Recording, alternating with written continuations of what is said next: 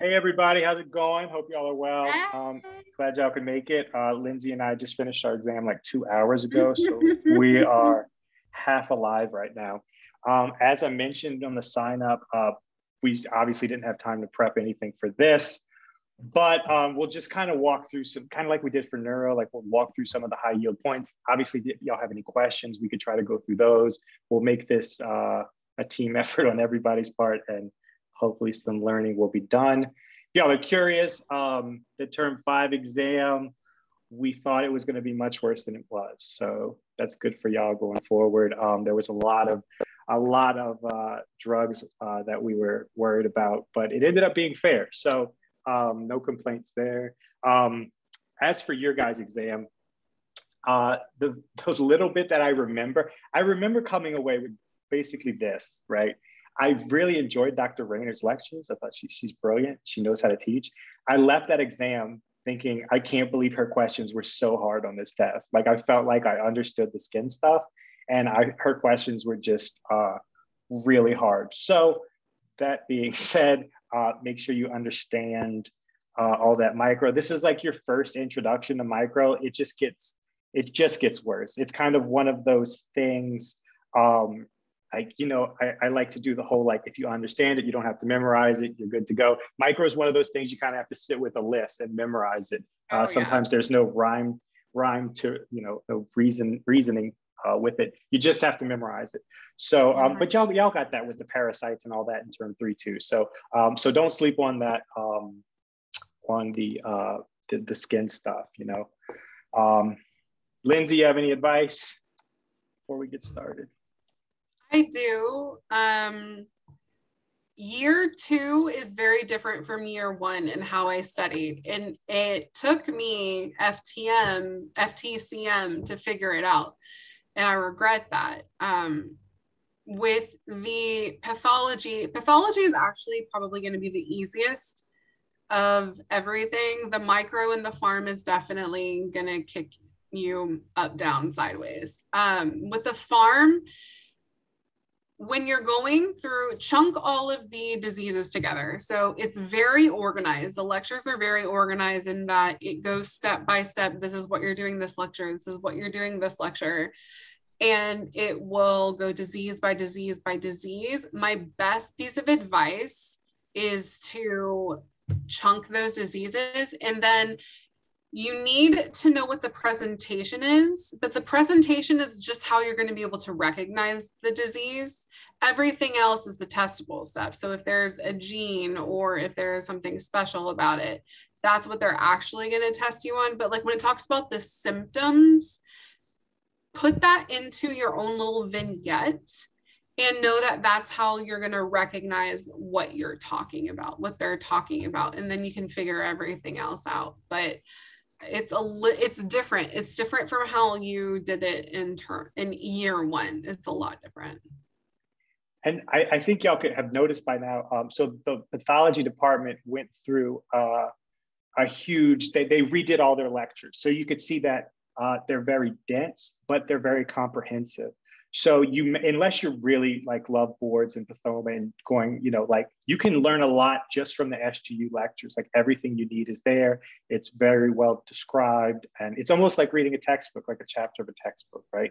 Um, but I, like Lindsay was saying, the pathology thus far has been pretty straightforward. I mean, some of the renal stuff was difficult, but um, like as in like it, they give you the presentation um, and it was fairly straightforward. But um, as for the micro, it's just a lot. And then when y'all get to pharm a little later on, um, it's a good bit too. But as of right now, what y'all need to focus on. So what we'll do is I'll just kind of pull up some of the lectures and we'll go through. This is informal. I don't have the chat up, so y'all just need to um, speak up if y'all want to say something or if y'all have any questions or anything like that. All right.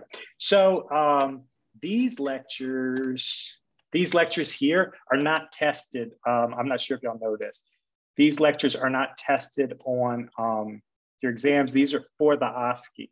So you can put these aside for now. You'll get, we kind of like when these come up because it means we have less lectures to do. We can just sit through in class and, and listen and don't have to worry about this to the OSCE. Um, so um, that's good. So then some of these DLAs that y'all did in the very beginning were um, all review, right? So good review to go through. You will have some questions on it. I want to say this. Um, I remember Dr. Dasso having, I think it was, it was an IMCQ and a specific question set where the, the math problems went from like one to a 100 right? Like there was one set that was like straightforward, like term one, and then there was another set and like an IMCQ they did that was just like you needed like three or four equations, and like it was stressing me out for the test, like having to you know sit down and work through all that.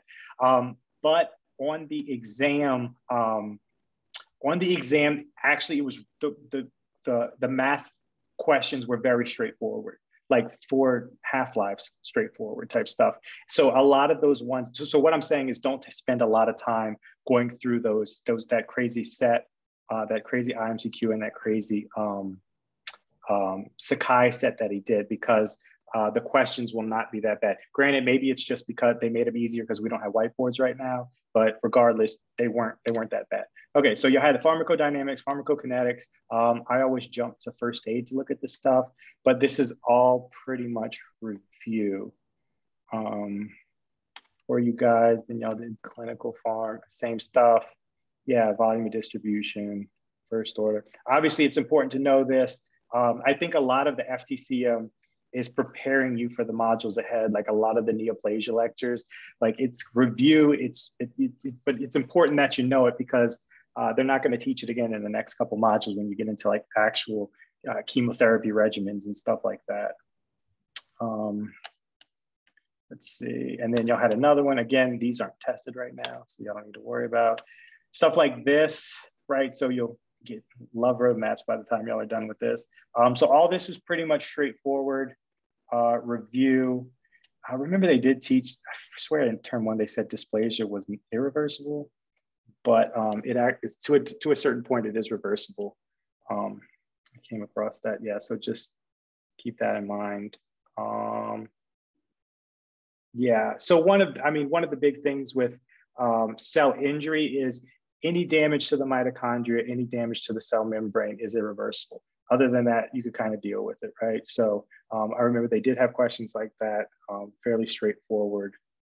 Yeah, see, any sort These of lectures are very straightforward. The the neoplasms, everything kind of at the beginning of FTCM, that's not path micro or um, pharm or straight path it's very straightforward and it incorporates into everything you do. So, for example, mm-hmm. everything related to neoplasms, everything related to um, cellular injury, it comes back in term four and term five. Um, but with respect to these lectures in and of themselves, very straightforward, understand what they're talking about, understand the definitions, um, and you should be good. Right. And so you should remember some of this stuff from term one, I suppose. Uh, cytochrome C, obviously, once it's gone, that is a signal for apoptosis. Stuff like reperfusion injury, obviously, the more time, say, the brain is ischemic, uh, once you get that blood flow, you have a lot of factors that come into play.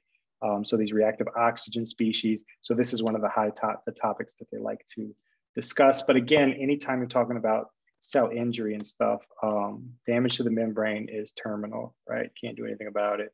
Um, and mitochondrial damage, calcium influx, stuff like that, um, are are permanent or or you know you destroy the cell. Um, this is more definitions, target effects, drug development. I don't know that we have any questions on this. Maybe just uh, did they do? Oh, yeah, right. So the phases of drug trials. Yeah, sure. You definitely should know that. Um, knowing which ones do what. But that was a term three thing that y'all did too. So ANS, right? Um, just don't skip over this stuff though, right? Because like this is like that table from first aid. Uh, you need to know this, and you know this by now because this is going to come into play when y'all talk about um, uh, all those drug. Well, y'all already have talked about them. Um, sorry, we're like going on like very little sleep. we're gonna do our best here. Okay, let me pull. Let me actually open this one. see. Neurons are not firing at yeah. maximum capacity right now, uh, guys. Uh, I'm very delirious, so um, mm-hmm. I may just laugh at myself. All right. So, right. Um, M2 is primarily on the heart. That's a, an important thing to, to know because when you talk about the baroreceptor reflex, super important. There'll be 10 or so questions in regards to the baroreceptor reflex. Um, I on um, I like to draw these out when I do these problems, like I do all three lines, um, just because it's quick. You can go do do do, and then you know that you're going from bottom to the top, like Dr. Colia says. Or did he not teach all this? I don't think he taught y'all. He taught us. He taught us this, and he would say bottom to the top, right? So you could figure out uh, how the baroreceptor is going to fire in each regard. There were questions on the exam that literally had these graphs like this. So um, you kind of, you can determine what um, what's going on. Right, uh, M3, right, on the vessels, endothelium specifically, that's important. Um, yeah, again, we're talking about the parasympathetic system, the cholinergic, um, the muscarinics, right? Um, okay, and then add, obviously if you add atropine to it, you're going to be able to affect that baroreceptor response. Um, I think there's slides on, on it coming up. We can't disable the waiting, nope. Okay, people are still coming in. All right, so, right, so obviously atropine will block your parasympathetics. Um, right, so a big thing uh, with atropine is if you block parasympathetics or you block the M receptors, you won't get sweating. Um, that's a big thing in these tests because um, when you think of uh, sympathetic overdrive, you kind of think of sweat, but you have to remember that's that one exception on the sweat glands, where even though it's a sympathetic, it's sympathetically driven, um, it's a muscarinic receptor, so patients won't sweat. Okay, so you'll come across questions specifically that'll say that, and you'll need to be able to identify. Um, it's not a sympathetic uh, it's not a sympathetic overdose as much as it is an, as an anti-muscarinic, right? Because if you have a sympathetic overdose, you will get sweating, you will get that muscarinic response. But if you're looking at an anti-cholinergic or anti-muscarinic, um, you, you know, you're going to get sympathetic symptoms or blunting of parasympathetics, but you also lose the sweat as well. Um, why did I put this here? I don't know. All right. And yeah, so we're just Im implementing atropine to the effect, right? So, okay. Um, and obviously, if you have any questions or something to say, I'm more than welcome to. We're just kind of walking through this. I think once we get to the atro, I mean the um, epinephrine and stuff, it gets a little bit more uh, important. Of course, nicotine in itself, it has a flipped response. So where you'll get um, at low doses, you get uh, a positive, like a forward flow of sympathetics or a ganglion ganglionic response, but at high doses, it reverses and it's ganglion blocker. That might be more of what we're doing now when we talk about the, the toxicities. I don't know, don't know if y'all actually got to that. So this should all be fairly much, this should be a lot of review from um, uh, term one. Um, mm, yeah, and again, so yeah, organophosphates, remember that aging process. If, if, it, if the organophosphate hasn't gone through the aging process, you could use parathione. Um, wait, no, is that the drug? No, it starts with a P though. Anybody? The, the P drug? You Pralidoxime. That's it. Yes. If the if the if it hasn't gone through the aging process, you could use that um, along with um, uh, what do you give? To, atropine? Atropine. Right. Yeah. Right. Okay. Right. So yeah. So right. So you get the dumbbells response. You get a parasympathetic response. So you want to give atropine to block that. Right. Exactly. Thank you. Um, okay. Then no. Let's see. Hmm. Right, and these are all just mo mostly just uh, definitions. They really didn't get into the quaternary. I know there was like tertiary versus quaternary. I remember like trying to commit those to memory, but those didn't come up. There it is, pralidoxime, if aging hasn't occurred, yeah. So, right, okay. Let's see. Okay, again, this is more review, definitions type, irreversible cell injury, right? Uh, make sure you know these definitions. Um, they all indicate if you're breaking the cell down or the nucleus down, you're gonna get um, irreversible injury. But yeah, these definitions are important. Pyknosis is shrinking, karyohec karyorrhexis is breaking it up, and karyolysis is when it, keep, it completely breaks up. You can't see it anymore. Um, of course, necrosis versus apoptosis. Remember, apoptosis is a programmed. It's there's thought that was put into it. Necrosis just you're just blowing everything up. There's not a lot goes into it. The one I always would get confused is the membrane blebbing. That seems like a necrotic process to me, like the membrane falling away, but it, it is apoptosis. So membrane blebbing um, is an apoptotic process. Uh, it's, it's, it's a thought, thought that went into it, right? You can see that, those blebs there. Um, again, but this is more, this is more review, but we should go through this because um, this comes up again. I had a, quick, so, I had a question. Yeah, yeah, of course. Uh, if it says um, mitochondrial swelling, but it doesn't specify like amor- like amorphous bodies, is that still considered irreversible? Like any mitochondrial damage? Because like there's a question was like, so all, like reversibles the like the ribosome detachment from the ER and also the polysomal detachment.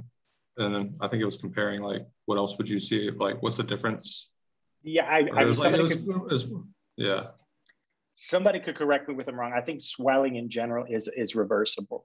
Um, it's once you like once you break through that cell, uh, the cell wall, that the cell membrane or the mitochondrial membrane, uh, then you actually get irreversible injury. Um, I, I, believe swelling is still considered um, reversible to a degree. Okay, yeah. so they have to specify if there's like the the calcium deposits in there, or yeah, exactly. Like, like that's yeah, you're done if that happens, right? Exactly. That's that usually that reperfusion injury, like the cell's like starving because it doesn't have anything around, and all of a sudden it's like flooded with all this salt and arrow kind of stuff, and it just um, it's just too much to handle. Um, right. Okay. Okay. So any sort of solid organ is going to go under go undergo coagulative necrosis, right? Coagulation. Um, so you um, so you can see that here, this pale infarct.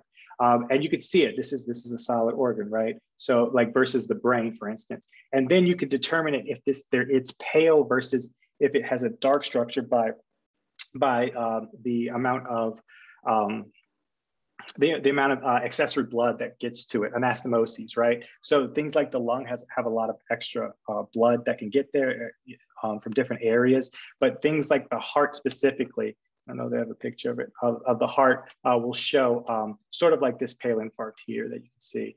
Um, but um, uh, it, it, would indicate that there's not a lot of uh, accessory blood that goes on to uh, that goes around it. And then liquefactive necrosis is pretty much specified to the brain. Um, I think that's the only place we really see this. But of course, if there's pus formation, anytime you have pus, that means there's neutrophils involved. Fat ne necrosis, fatty, uh, yeah, pancreatitis. That's your keyword for that. Um, that would come up uh, with um, pancreatitis. Uh, caseous necrosis um, indicates usually, yeah, usually it's a cheese-like, that's the caseous structure that they talk about. And you're talking about um, like granulomas, right? So like the, the tuber tuberculosis granulomas is caseous, because what you're gonna find a lot of times when you start talking about um, lung pathology, they'll say non-caseating granuloma, and that indicates there's no tuberculosis there. So caseating usually uh, refers to uh, tuberculosis, right? All right, and you can see that here, this cheese-like structure um, fibrinoid necrosis, blood vessels, fibrin, right? I don't know if y'all talked about it when y'all talked about the hyaline membranes um, or the hyaline arteriosclerosis, um, but uh, that happens as well. So malignant hypertension means it happened immediately, right? So like within a day, your blood pressure started going to like 200 over 110, and then you get this um, this fibrinoid necrosis. If you have long-standing um, hypertension, you get hyaline arteriosclerosis. Y'all probably cover this. If not, y'all do it in renal. And then uh, obviously I know what this is gangrene, uh, dry versus versus wet. Um, yeah, but again, yeah, so like these are good. You need to get the definitions down now because um, they're just going to throw it in and you're just, or you're going to have to, you're going to have to know it already when you start looking at the different pathologies of the heart and the kidney and stuff like that, the spleen. Um, okay, there was another one on this. Hmm. Okay, I guess these are the antagonists, atropine. Okay. Right, okay, yeah, this was like a weird thing. Um, shoot. It was like low dose atropine works in reverse because it prevents the release. Does anybody remember? I can't quite. So it acts on like an inhibitory releasing M2 receptor. So it blocks um, additional release, I believe, and that's why you have the bradycardia. Okay, yeah, that's exa- right, and it does. It's it's very counterintuitive, right? You like you release atropine, right? Uh, so you should uh, have tachycardia, right? Or you should inhibit the bradycardia, but it depends on where it binds to. So it's just it's not exactly intuitive uh, with that, right? So this would be more of what you would expect, the tachycardia, once it binds uh, postsynaptically, but it has an inhibitory process presynaptically. And similarly when we get to epinephrine too, there's basal levels versus high dose levels. Okay, so all right, of course, any sort of cholinergic agonist, um, organophosphate poisoning, you want to get atropine, um, it's used quite often. And you can see this here, um, right? All of these parasympathetic muscarinic responses. Scopolamine, uh, yeah, I mean, that's for motion sickness. It has an anesthetic effect as well um, high doses. And then, oh man, see, these were tough. You need to take your time and go through these and just make sure you understand them because um, like it's different. You need to be able to differentiate mydriasis versus cycloplegia and the, you know, the, the, the lens, um, you know, the shape of the lens as well because I'll show you, I think it's at the end of this lecture. Um, he goes into, let's see. Um, see, like this would, like if I would look at this, I would just literally memorize these two go alpha one. I mean, y'all, this is more of like a year one thing to show the term ones, but y'all get this by now. Like there's not a lot, you know, you don't have to go through and memorize all this. You just have to memorize the little exceptions here, right? Two things and everything else falls under M3, right? Heart's always into. Okay. Um,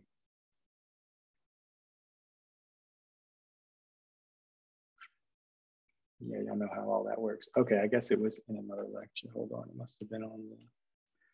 And then all these pathologies, right? So you should look forward to these. Um, these will be easy points on the test. I think the pharm, and then when you get to the micro, that's going to be the more difficult part. Um, again, this is all review they did ask us questions about this actually. What goes with what? I think y'all had probably had practice questions with this too. Um, the rolling versus adhesion, or if you have a mutation in one of these, um, what goes on? Mm.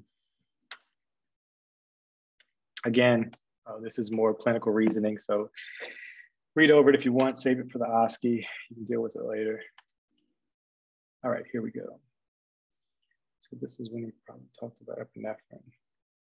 Right, okay. So you have basal levels of epinephrine flowing in your body right now. They're low levels of epinephrine that causes vasodilation. It's very important to understand the difference here, right? Because when you're running from a bear, you get surges of epinephrine, and that's where you get the fight or flight response. That's where you get vasoconstriction.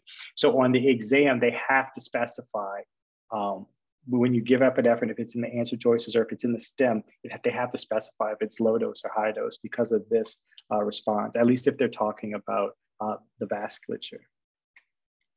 Um, again, see, we're looking at that atropine. That's that weird thing it does, that low dose atropine.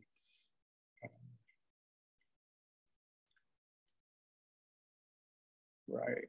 So remember, epinephrine works on all four um, alphas, two alphas and two betas, and then um, norepinephrine doesn't have a beta 2 effect. And it is important. I mean, I know Dr. Kolias didn't teach all this, but he, I'm, I'm, assuming he wrote our questions for our exam. I'm not sure if y'all would get the same questions, but like he would ask us certain things, like the things in first aid in the beta 2 section at the end that you like don't look at, like like the insulin secretion, stuff like that. Um, he would ask about. So um, make sure you know all the responses for all the different um, uh, receptors. Right, so these are great. You should be able to be able to do these um, and be able to map the or map it out. Yeah, the mean arterial pressure, right? Um, just to kind of see uh, that these are good too. So in, in adding on to where I what I was saying, I used to draw these out when I would do the questions or whatever, or the practice questions. Um, I would do these two, right? So bottom to top. Once you do peripheral resistance, then you figure out the map. Um, so for this one, it stays, since the systolic goes up and diastolic go down, the mean stays pretty much the same. Um, and then you could dictate the heart rate based on that. Okay, um, so there we're using low versus uh, the high dose Um, again, norepinephrine. So whereas epinephrine low dose will have a beta 2 response, norepinephrine doesn't work on beta 2. So it'll um, it'll give you a complete vasoconstriction. Alpha 1 effect. Remember, beta 1, one heart, beta 2, two lungs. So that beta 1 effect is always going to cause tachycardia. Um, these are super important. These slides, I put a star on it. You need to understand both ways. If we're stimulating the parasympathetics, what is going to be that M2 response of the baroreceptors versus inhibiting it and um, being able to determine, or actually, well, it goes both ways, right? Um, because these are these are the baroreceptors. But yeah, so um, but that M2 response to block it. So that's a good example that they could use. They could say you gave a drug and then you gave atropine with it. Um, what is the uh, what is the, the consequence there? So if you're blocking, if you're using atropine to block it, you're going to block those M2 receptors, the heart rate. Right, again, you can see the difference here. Um, uh, the mean arterial pressure went up a little bit with norepinephrine, which you would expect the blood pressure to go up, both systolic and diastolic. And then since you get um, a higher peripheral resistance, that'll give, cause that reflex bradycardia. The baroreceptors, the response will go down. Dopamine's a little weird. Um, when I think of dopamine, I think of the kidneys because um, it has the, that effect of renal blood flow. That's what I think about. So um, whenever you have a patient um, that's a low GFR or, or kidney failure or whatnot, um, you can think about one of these dopamine analogs. Right, of course, again, this is, um, this is from term one type stuff. Just as long as you have a good definition for it, you should be able to work these, these questions out. The more practice questions you get, the faster you get at it. So that's, um, it, you know, if we all had all day to take these exams, it wouldn't be so bad. It's a, just a time constraint.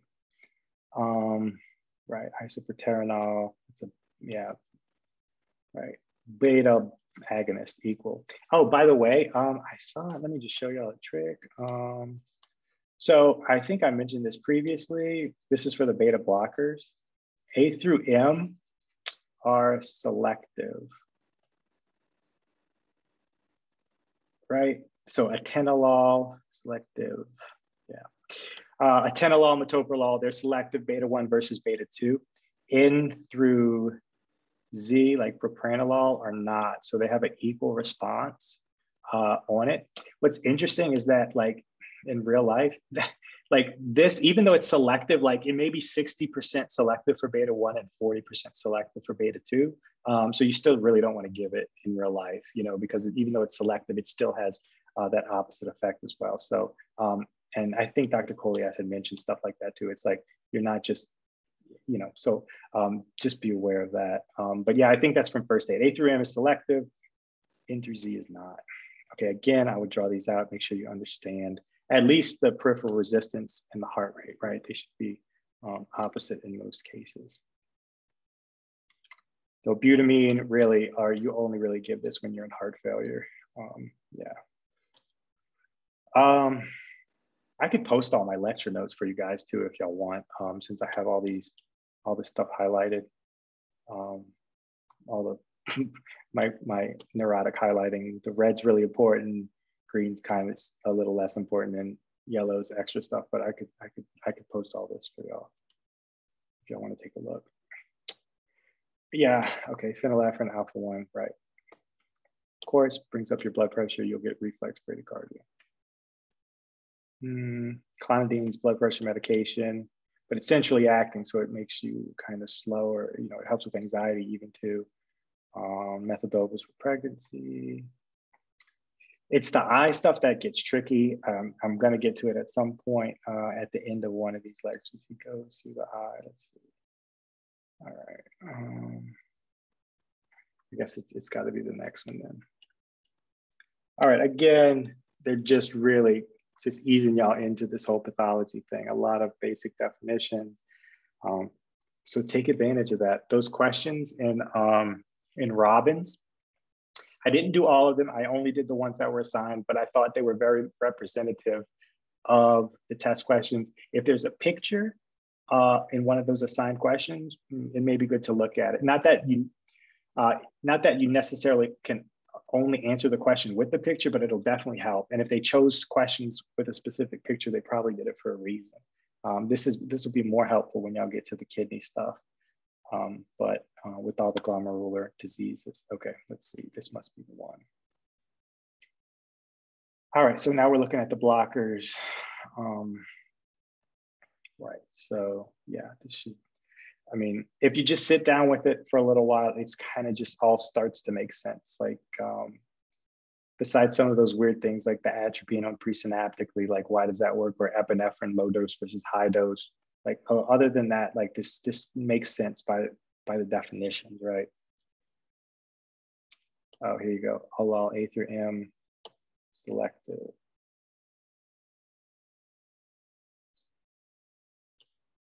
Pindolol, which one? um because i that's yeah so like they would they would he would ask stuff about these like these one like i i guess i just didn't want to learn the eye stuff or i was like it's really confusing me, but they came up. So make sure you don't sleep on those.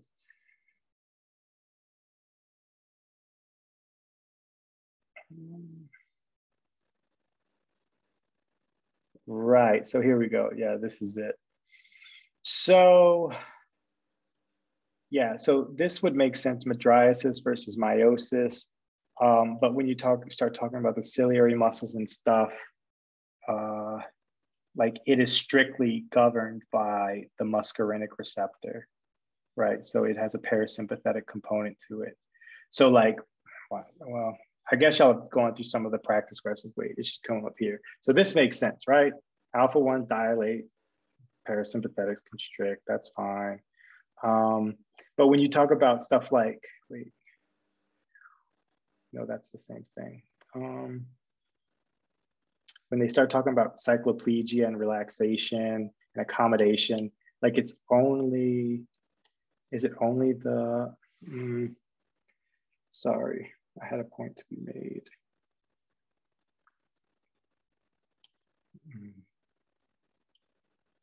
Like when you talk about accommodation, like you're, you're talking about the muscarinic response. I, I, I, think I'm right about that. Like, so when you're talking about pupillary dilation or constriction, um, you can have both a sympathetic and a parasympathetic response.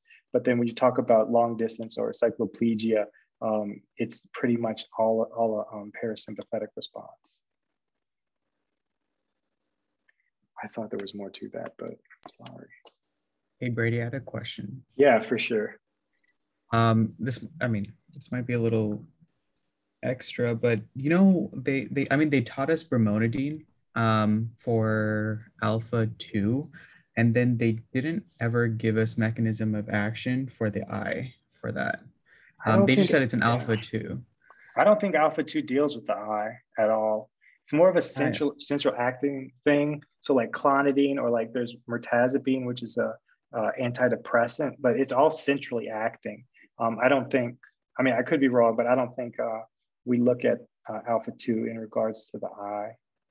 Yeah, we got we got it for uh, like I think it was part of the DLA, you know, read on read on your own time type of situation. It decreases aqueous humor. That's all I know. Okay. It's an alpha two agonist, but I just could not for the life of me get the MOA for it.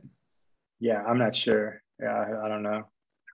Um, if it decreases the aqueous humor flow, it's going to prevent production of it, which will decrease the pressure in the eye, which will um, decrease the glaucoma condition. Okay, so medically, yeah, that would, I guess that would be that would be the the um, reason to use it. But in regards to like actually um, dictating like um, your, your, ability to see, uh, I don't I don't think it comes into play as much. Um, but yeah, so like okay, so like I was saying, the dilator versus constrictor makes sense alpha versus uh, muscarinic. But then when you talk about the ciliary muscle, like adapting to short or long range, it's all of a parasympathetic response. Um, y'all probably came across questions, if y'all know what I'm talking about, um, where they, they block um, one of these versus the other. And, you know, sometimes this will come into play if it's parasympathetic and sometimes it won't. Um, I guess I'd have to see one of the questions. Yeah, but I'm sorry, don't sleep on the glaucoma stuff with the intraocular pressure because that's super important clinically as well like yeah, like pilocarpine is given. Um, all right, so I like Dr. Gatos. He's very uh, comprehensive with his stuff, but takes a little while to get through. But after it's done, um, you kind of understand it. He puts a lot of time into this work. Right. So you need to be able to differentiate COX1 versus COX2. They're kind of, even though they go sort of through the same pathway, um, they're very different in their side effect profile. Um, right. So super important to remember COX1, uh, typically when you talk about ibuprofen, stuff like that, um, uh, or aspirin and whatnot, um, well, aspirin's both, but the ones that are primarily COX1 um, are going to affect the gastric epithelium. Why is that? Because they tend to block prostaglandins. Prostaglandins have a protective effect on the um, on the mucosa, right? So if you're blocking prostaglandins, you can get ulcerations. Whereas COX2 uh, tends to work more on the heart or tends to have side effects on the heart, which we'll get to in a second. Uh, yeah, well, no. Um, right. So of course, if they they'll give you straightforward questions, they'll be like, patient has a lot of uh, uh, um, uh, gastric ulcers and stuff like that. So you want to put them on more of a COX2 selective, right? Um, so like celecoxib is the main one that they they talk about. Um, but the most of the ones, the over-counter the ones that you see are going to fall in this one. Ibuprofen, aspirin is non-selective.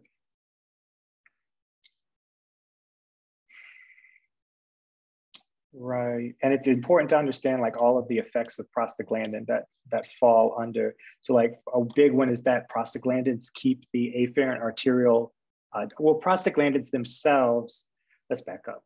Okay. So prostaglandins will uh, will cause vasodilation and they will cause, um, uh, they will not cause, well, they will not cause um, like platelet adhesion, right? They will, they will inhibit platelet adhesion right? So that's the exact opposite of thromboxane. Thromboxane will cause vasoconstriction and will cause platelet aggregation. So you can think of them as opposites. So you need to keep a balance when you're talking about it, um, because if you inhibit prostaglandins too much, you can have uh, certain side effects, such as if you, since prostaglandins vasodilate, if you block them, you can get vasoconstriction of the afferent arteriole. That's important because it'll decrease your GFR. This is why you have to be careful when you give uh, kidney patients or renal failure patients um, uh, NSAIDs, right? Because if you uh, if you block prostaglandins and you constrict the afferent arteriole, you're going to decrease your GFR. And if their GFR is already low, that could cause a lot of problems. For most people, it's not that big of a deal if you G- de- decrease their G- GFR a little bit. Um, but if they're already in renal failure, that's a problem. All right, so what are the, some things you can give? Misoprostol kind of helps to help with the mucosa. PPIs, yeah, um, obviously, and histamine blockers. So, yeah, probably probably good to know this. Um, hmm. Right. So, of course, if we're talking about gastric problems, the ones that are more COX1 selective versus COX2 at the top. And when we talk about the cardiovascular side effects, this table will be flipped. All right. So, and again, so this is what I was talking about this balance between prostaglandins or prostacyclins um, and thromboxane, right? So, we're talking about um, the differences there. And so you can see this is flipped for cardiovascular risk. So, they will straight up tell you on the test the patient has CHF or whatever. And um, so, you don't want them on a COX2, right? You want to put them on a COX1. Um, obviously, if you're if you're wanting to prevent um, any sort of uh, platelet adhesion, so you're trying to prevent any sort of emboli or strokes or myocardial infarction, you put them on low dose aspirin because at low doses, the aspirin will block thromboxane, will block that platelet adhesion, but it will not uh, cause too many side effects because it's uh, it's low dose. I have a small question, actually. Yeah, sure. Not that big of a question, but like they classify the NSAIDs into either non-selective or COX-2 selective. So is there uh, a COX-1 specific for any of the non-selectives or do no i don't kind of apply to both or is it like a ratio kind of like yeah i don't think so but when i think of these non-selective ones i think of more of a cox1 effect because like with ibuprofen and indomethacin and stuff like, like you get a lot of gastric ulcerations so maybe this cox1 is a little more selective but like um, if they talk i guess you could think of it like this if they talk about heart problems, you want to stay away from this. If they talk about gastric problems, you want to move towards this. Like maybe these are non-selective in a sense, but like you, in this regard, you would think of them as having that that um, that COX one effect. uh, at least over these, right? So yeah, that makes sense. Yeah, um, I, I, I can't say for sure, but I know that even though they're non-selective, they do cause a lot of gastric issues. It has okay, yeah, because I still see them with COX one, but also like I was never really explicitly told that like they have like they're directly only COX one, so that's why I've never. uh Yeah, it may be it, it may be like those beta those beta those um beta agonists that are selective, and it's like 60-40. You know what I mean? It's like you still don't want to give them if it's 40, right? It's sort of like that. Thank you. Yeah. All right, you know by now indomethacin will close this because prostaglandins uh, will keep it open and indomethacin being NSAID will decrease prostaglandins. That's why it closes the ductus arteriosus. Right. Um, yeah, and you can see a direct correlation, right? So, well, not, you know what I mean. Um, so versus COX1 versus COX2, uh, it's proportional. So it's very straightforward. Whatever risk factor that they give you for the patient, just use the other one. Meloxicam is not over the counter. That's prescription. Yeah. Um, yeah, and so this is what I was saying, right? So prostaglandins in and, in and of themselves cause vasodilation. It's very specific in the kidney to this afferent arteriole. So don't make too much of this, all this nonsense. All they're saying is that if you block prostaglandins with an NSAID, you're going to cause constriction of the afferent arteriole. If you constrict that, constrict that, you're not getting enough, a lot of blood to the glomerulus, so you're going to decrease your GFR. Now, in a healthy patient, that doesn't really matter, but you have to be careful for kidney failure patients, right? As you can see. Right, so that's what he was getting at here. Of course, don't want to use opioids or even tramadol if you don't have to. Watch their liver function with acetaminophen. Um, yeah. Leukotrienes, when I think of those, I think of the lungs, right? We're going over to the lung side. Um, obviously, they have more to it than that, but I just think of them because of the um, um, the leukotriene inhibitors for, for asthma. All right, and then celecoxib, be careful, even though um, they say they want to stay away from a COX-1, you can't use those because it it's, it's a sulfa drug. All right, oh Lord, what happened here? ACE inhibitors, mm. oh yeah, it blocks bradykinin, so you have to go this way. Um, I don't know, I don't remember. oh, like oh oh, this is the three drug combo, the triple merit. Wait, sorry. Okay, yeah. So you never want to. These this came up on the test too. Yeah. So you never want to give these. This is like a bad combination. ACE inhibitor, um, call this efferent vasodilation. Um, NSAIDs will it afferent. Uh, so basically, on the front end, you got very small vessels. Whoops, what's going on?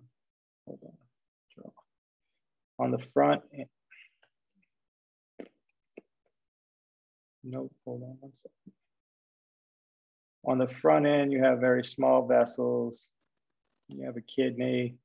On the back end, you have a very large vessel. This will very drastically decrease your GFR. Why is this not working? I think people are still joining in, so it's like, all right. So this will drastically decrease your GFR right? Because uh, can't get blood in, and there's no, you know, it's it, it's not it's not pooling here either. It's it's easily getting out. So that's bad for the efferent. That's bad for the inferent.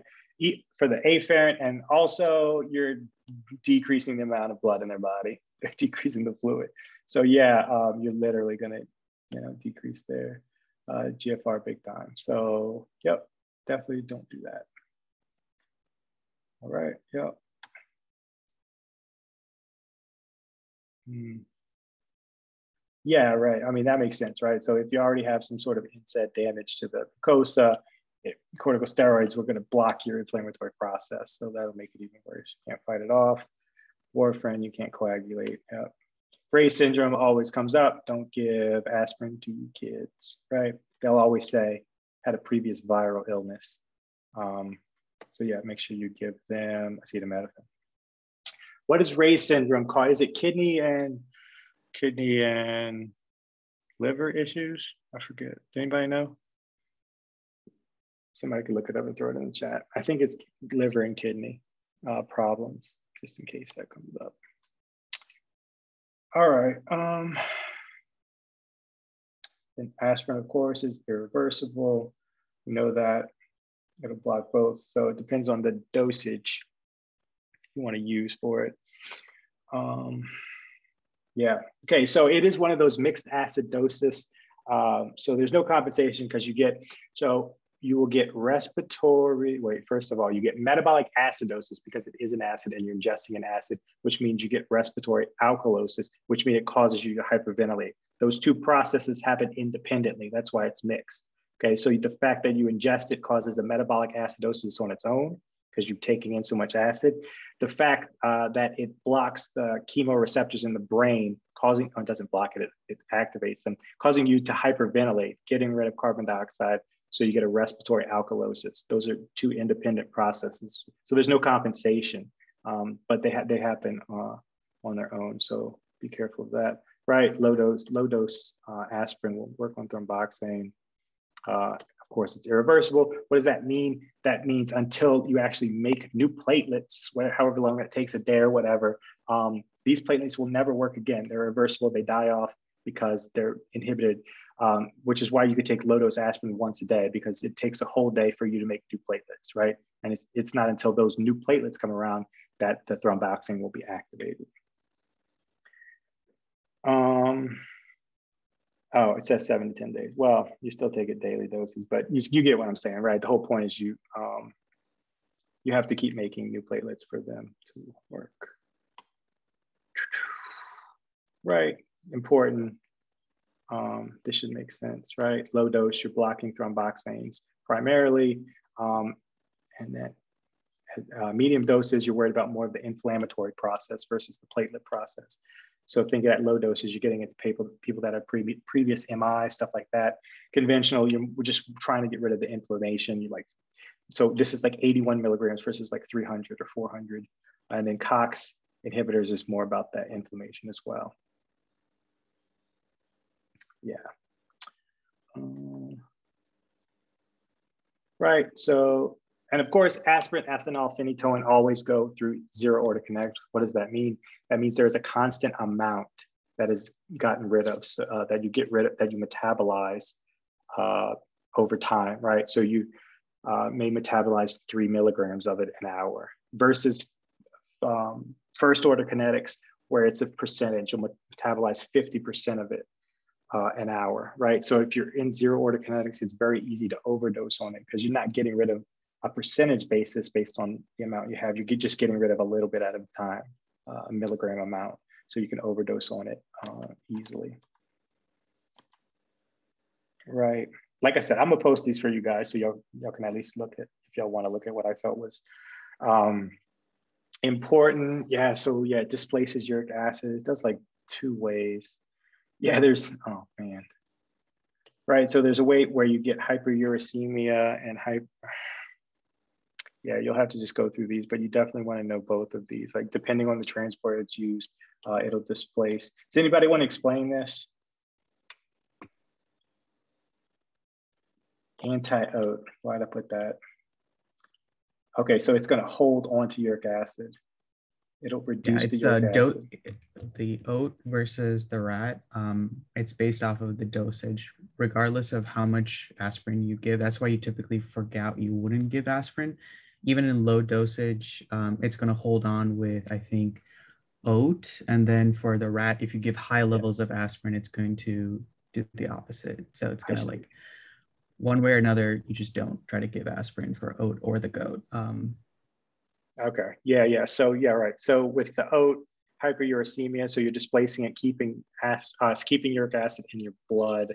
And then for the urat, uh, you're actually displacing it and you're getting more uric acid in the urine. Neither one is good, obviously, um, but um, I guess clinically, yeah, if you need, yeah, you would do some, you would use allopurinol. You wouldn't want to go through this route or anything like that. Right, and this is this intoxication I was talking about. Um, remember, it's it's there's this is not a compensatory process. There are two independent problems that's happening simultaneously. So it's a mixed acidosis, or sorry, it's a mixed um, uh, problem.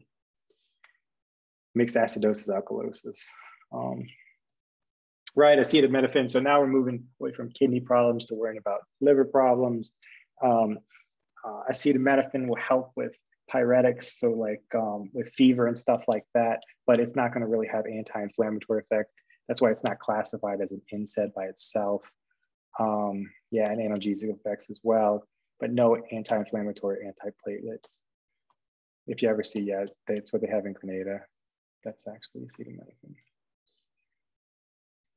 Right. So of course, you definitely don't. If a kid comes in with fever or even pain or something like that, or inflammation, you want to stay away from aspirin because of Reye syndrome. Uh, go ahead and just give them acetaminophen. Right. The antidote in acetylcysteine. Right. For acetaminophen overdose and acetylcysteine. Yeah. All right. So yeah. So that's important. Definitely need to know that stuff because um, you're going to deal with it in practice uh, every day. All right, so granulomas, ulcerations. So I, I y'all have probably y'all have done a couple of these pathology where you write your own questions now too. I actually found those like found those good. It was like like if I did a question on it, like I uh, or I explained it in group, like I felt like I knew it pretty well. I think my friends agreed too. We would do practice questions, be like, oh no, I presented on this. So um, take advantage of that. Like um, you could definitely, I mean, you have to be there anyway, right? So you might as well uh, try to learn from it. But again, this you're still getting into the, uh, they're still outlining like how this whole pathology thing's going to go because it gets heavy next when y'all do cardio and renal. Okay. All right, opioids. Right, so it's good. It's good to go through these. Um, I think Dr. Gatos does a really good job uh, explaining the different receptors. Let me just point this out. This is super important. Um, so anyone with psychiatric problems, you want to avoid any sort of opioid that um, affects the kappa receptor. Okay, um, and I think like other than that, it's really not too much of a problem. Like you're going to get respiratory depression, um, with, you know, with the mu receptors, constipation as well. But these psychiatric symptoms, that's an easy test question to get. You got to stay away from those. All right. Um, right, which is very, it's like, it is um, interesting in that there's not only a ascending pathway to tell the brain that you're in pain, but there's also this descending pathway where serotonin and norepinephrine are actually used to kind of signal to like stop the pain as well. Like, I don't think that's very intuitive. But um, if you go through these, uh, um, you can actually see how the, uh, if you block these GABA receptors, so the GABA receptors are going to block the release of like right here of serotonin. Therefore, that's going to be uh, an upstroke in pain or it's going to signal pain. But if you could go, go ahead and block these GABA receptors, then this serotonin can be released. And if that's the case, you could help numb the pain or block the pain signal as well. Um, so yeah, if you just go through these, um, uh, you can kind of work out how it works. And then once you have the, the process down, you can go uh, through and see how some of these drugs work. So yeah, um, Right. So let's take example, these kappas, right? So these PBN, what did he say? Oh yeah, this group, this mixed group, they only have PBs and Ns. None of the other ones have PBs and Ns in the other groups. I think that's why I wrote that there. Um, but if you had to give a mixed one um, and there was some sort of psychiatric problems, uh, you would want to give buprenorphine, buprenorphine, buprenorphine uh, versus these because you don't want to exacerbate any psychiatric symptoms. All right, but the ones we typically think about are like these. Um, the primary receptor we talk about is the mu receptor. Um, so you can see that here. Right.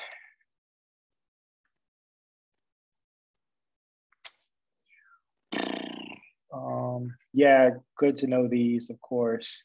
Um, with different uh, cautions you need to take. The main thing you're going to get with opioid overdose is respiratory depression. What does that mean? What does that mean for the metabolic state? If you're holding on to carbon dioxide, you're holding on to the acid, which means you get respiratory acidosis. Okay, so if they talk about that with some sort of overdose, um, it could be um, it could be an opioid serotonin syndrome, right? Anything that has to do with um, increasing the amount of serotonin, all of these SSRIs are first line.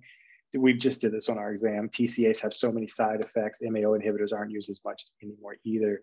Um, but anytime you never want to combine these, at least in a in a vignette, right? Maybe in real life they figure out dosages, but in a vignette you never want to combine these um, uh, because you get this serotonin syndrome. Uh, and you can see here, even blocking these uh, using opioids. So it doesn't even seem like it would deal with that in that regard. But these are very important because they help to block the GABA receptor. Therefore, uh, the serotonin is able to be released. And if that's the case, um, am I backwards? Does the serotonin block the GABA? Mm, why does it look like that? No. This is going this way, right?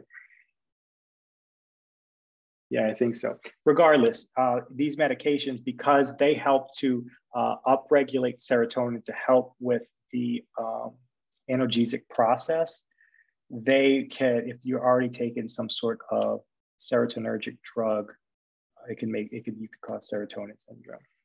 Of course, opioids do work on the um, dopamine pathway, the, what's it called? You know what I mean, in the brain. Um, I forget, but you know the dopamine pathway. That means they have an addictive quality to the nucleus accumbens. Yeah, that's it. Uh, all right. And when you look at when you look at the scaling system for pain management, it's like zero to three, four to six, seven to ten. Uh, the way I do it, so it's non-opioids first. So things like aspirin, um, you know, NSAIDs. The four to six, you want to give oral opioids. Um, so things like um, um, what do you call it? Like hydrocodone. codeine are the yeah, ones yeah. that they listed. Yeah, these right, these down here, hydrocodone, oxycodone, those are all tablets. When you get these, the seven to ten, these are all um, these are all IV medications. Okay, so you could break it up that way. If you just remember which ones are IV versus oral, that splits the group, um, the second and third. Heroin. Uh, I think the neat thing you need to know about heroin is that, uh, what do you give? It starts with an M. Um, yeah, the clinics. the, I'm sorry, I'm so tired. Uh, what's it called? Do you give heroin overdose? Uh, it's not overdose, but addiction. Maybe y'all didn't cover that yet.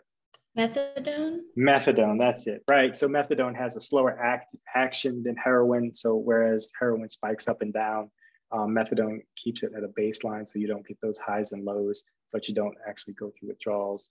So it's not a perfect system, but um, it's a means to not using heroin. Meperidine is typically a problem for healthcare people that have access to it.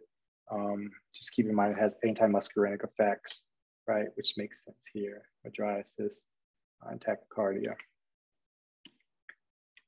Uh, it's not super important. Fentanyl, very potent.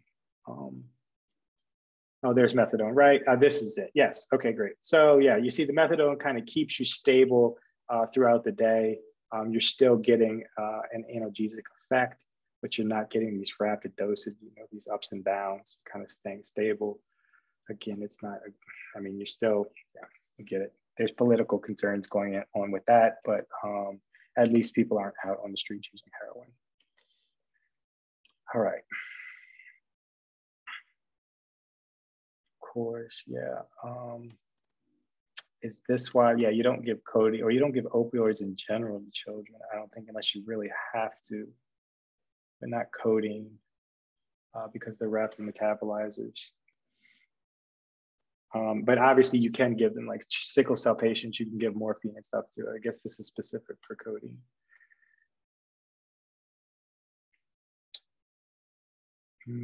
Right. And again, the one one thing, yeah, that's important to point out: no kappas for any sort of psychiatric issues. You have to be careful with that.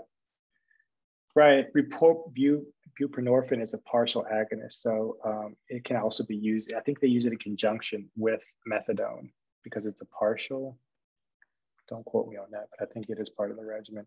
Then, of course, naloxone. You ever seen that or in movies or whatever, uh, somebody overdoses on heroin and they just shoot this Narcan up their nose and like they completely come out of it. It's it's insane actually um, and they're all pissed off because they're not high anymore.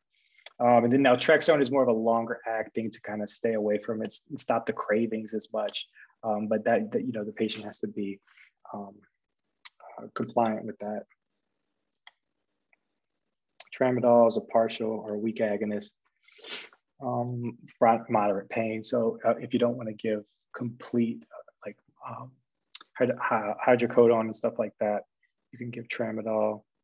Codeine, of course, is used with cough medicine as well.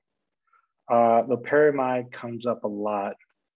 I don't remember why. Well, it is one of those ones with the serotonin syndrome. I think it's safe, is why.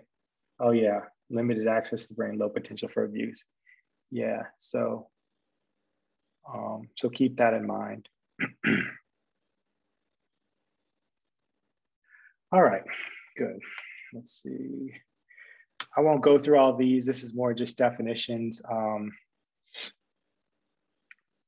yeah, osteoarthritis. Again, you're just trying to help with the pain. You can't really do much about it. Um, yeah, I mean, you could, could give them steroids. Again, that's to help with it. It, it doesn't, it's not really an inflammatory process though, like rheumatoid arthritis.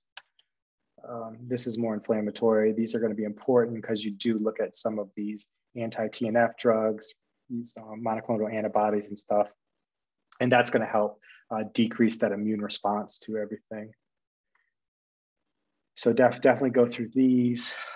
Um, yeah, and like I highlighted that, like that's the standard treatment if you're going to go through the combination therapy. Methotrexate, hydroxychloroquine, and sulfasalazine. Yeah. Migraine, same thing. Um, I think you use serotonin. Mm. Yeah. Uh, mm. There was like one migraine there it is. Sumatriptan. That's the one that works yeah. on the agonist on serotonin. Yeah, that was an important one.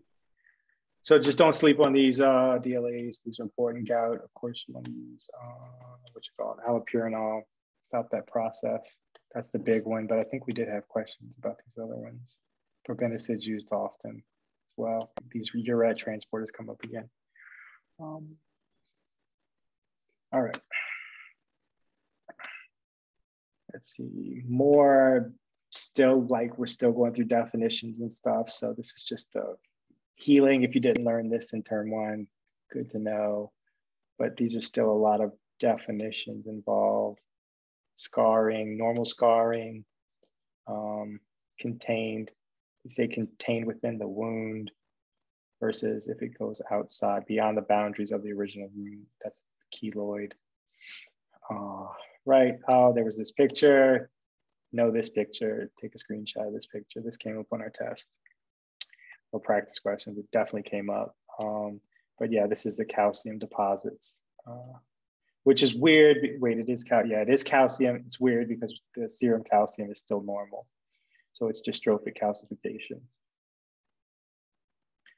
Oops. Let's see. okay. Immunopharmacology. What was this? Oh, oh yeah. Immune medication. They didn't really dive too deep into this because it's very complicated, to be honest. Um, but if you have a diff if a good definition for like what these drugs do even if you don't completely understand it like tacrolimus is primarily used to keep your t cells uh, at bay um, the lab values will come back fairly normal but they'll prevent your t cells from spiking so it prevents um, transplant rejection stuff like that um, yeah, knowing like these little details right here. But as for like sitting here and like walking through this, like I don't think that's necessary. Just as long as you kind of just regurgitate what the drug does, you should be fine. Um, I didn't, I don't remember that being too terribly difficult. like a, as in it's a very difficult concept, immunosuppression versus like what they test on wasn't that wasn't that bad. I don't know why this isn't highlighted. Must be an old copy. Um, right. So yeah. Okay. Um, yeah, so just the concept TNF alpha, right? Tumor necrosis factor that's going to initiate a lot of inflammatory process processes. Um, so if you could block that, uh, you can help with uh, in, inflammation. So yes, these are these are like I'm sure y'all y'all have probably seen the commercials for these infliximab, etanercept. Those come on uh, TV uh, commercials, so they're they're commonly used. This one too as a commercial. Um, but yeah, like what I have highlighted is basically all I knew about it, right? It just binds the IgE. That's fine. We'll be fine knowing that, right? Maybe CD20, so B cells. Of course, these are B cell problems, but don't spend too much time. Right, so yeah, these are all different. These are important to know, which goes with which. I think it was first aid might have a way to remember these. Okay. Um, amyloidosis. Yeah, so I remember this lecture. Yeah. Uh, there was a table, I believe. So it's amyloid and then something, which dictates, yeah, there's a bunch of tables. So you need to know these tables, right? So light chain. those inside and out. Yeah, everything will come from these tables. So light chain, meaning there's yeah. some sort of immunoglobulin problem that's causing this.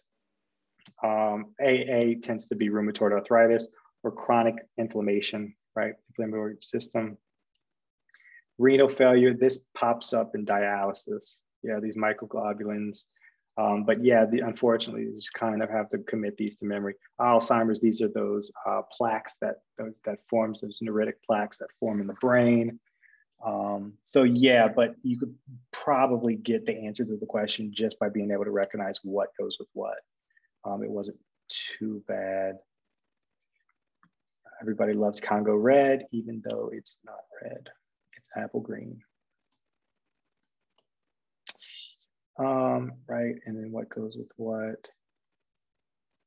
Yeah, amyloidosis, right? So anytime that Congo red will pop up, uh, that means there's positive amyloid plaques wherever you're looking at. So that's gonna be your giveaway there. Accumulations, right? Mm yeah, lipofuscin, bile, yeah. Um, kind of looks the same to me, but they'll hopefully they'll tell you what organ you're in and that'll help to differentiate it. This is iron, yeah. And then gout, these crystals, needle shaped negatively birefringent is gout, positively birefringent is pseudo gout. And of course, you know, big joint, big toe, that's typically where you get gout. All right, pain management. What is this? Oh.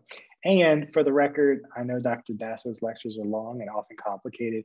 I have always found that his questions on the exam are very fair. And I think the IMCQs and the clicker questions he uses are very represent, representative of the kinds of questions he asks. So um, especially when y'all get, get to respiratory and y'all start doing the chemo regimens where there's like 10 drug combos, like it's very, um, he, he, he, he quizzes you on the stuff that he's gonna ask about. A lot of side effect profiles. All right, and we kind of talked about this, the what you're gonna do. Um, remember that like opioids don't have a ceiling, right? So you, it, you know, which is kind of a problem. Um, that's why they always put uh, acetaminophen typically with an opioid uh, because the acetaminophen has a ceiling. So as you can, yeah, you can, if you take too many um, pills, you can, you would overdose on acetaminophen. Technically, you would never overdose on opioids. You would just pass out have a good time. Um, so that's why they always add acetaminophen to them uh, so that you can help to limit uh, abuse potential. Then breakthrough pain, you always can give some sort of opioid in conjunction. You don't stop the regimen. Say you're giving uh, morphine every eight hours, but at hour six, somebody's getting pain, you can give them like fentanyl or something like that uh, in the hospital. So it's kind of the idea there. yeah, and this is that ceiling. So these are fun PCA pumps. you could press it like every 10 minutes and it gives you a little dose of medication. For those of you that have had surgery, uh, you're familiar. If you pass out, they don't let your mom click the button for you. You have to you have to click it yourself, just so you know. Uh, um, all right, what else? Paradigm. Yeah, of course, adverse effects. Respiratory depression is more as bad too. Mm. All right, so this is more about management than actual um, than actual new new drugs that you need to learn. And this kind of bounces off of Dr. Gatos's lecture too. And you can imagine some of these some of these SSRIs do have an analgesic effect because uh, they activate serotonin. If you increase serotonin, uh, you can decrease pain. So that is a thing. See, like these are SNRIs, neuropathic pain. Um, you can give those for. So even anticonvulsants, gabapentin, pregabalin, work with GABA and glutamate. So they will obviously help those work in the central nervous system with um, your nerve with the nerves. So uh, blocking GABA or upregulating GABA can help with pain as well. Right, that's an important thing because it's very uh, specific they use trigeminal neuralgia if you haven't heard of it it's like this intractable pain that people get in their face it's so bad that like um like they've done studies and the there's there's an increased like a significant increased risk of suicide for people that have this because the pain is so bad um it's like if wind blows against it it's like it's uh, it's insane. So I'm just telling you that because it's very special. It's hard, very hard to treat. They use carbamazepine for it. Um, but it's one of those things that's like you, you just don't want to you don't want to see. Um, there's not a lot you can do about it, uh, but they try to give carbamazepine to help with it.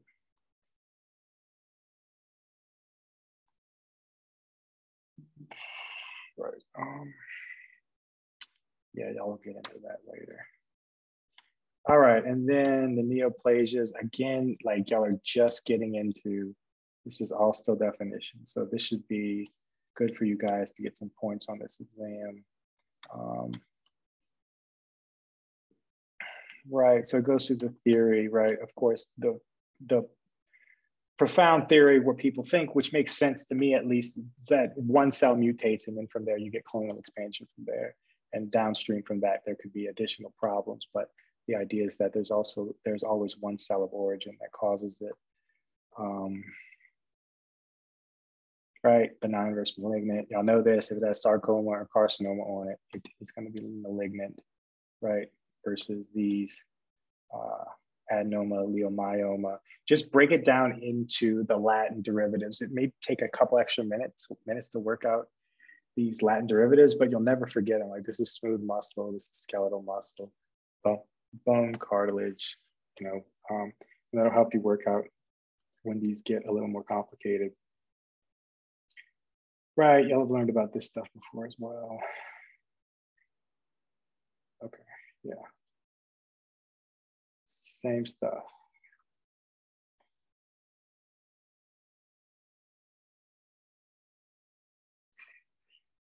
All right, cool. Autocoids, what are those? uh, yeah, histamine, that works. um, Right.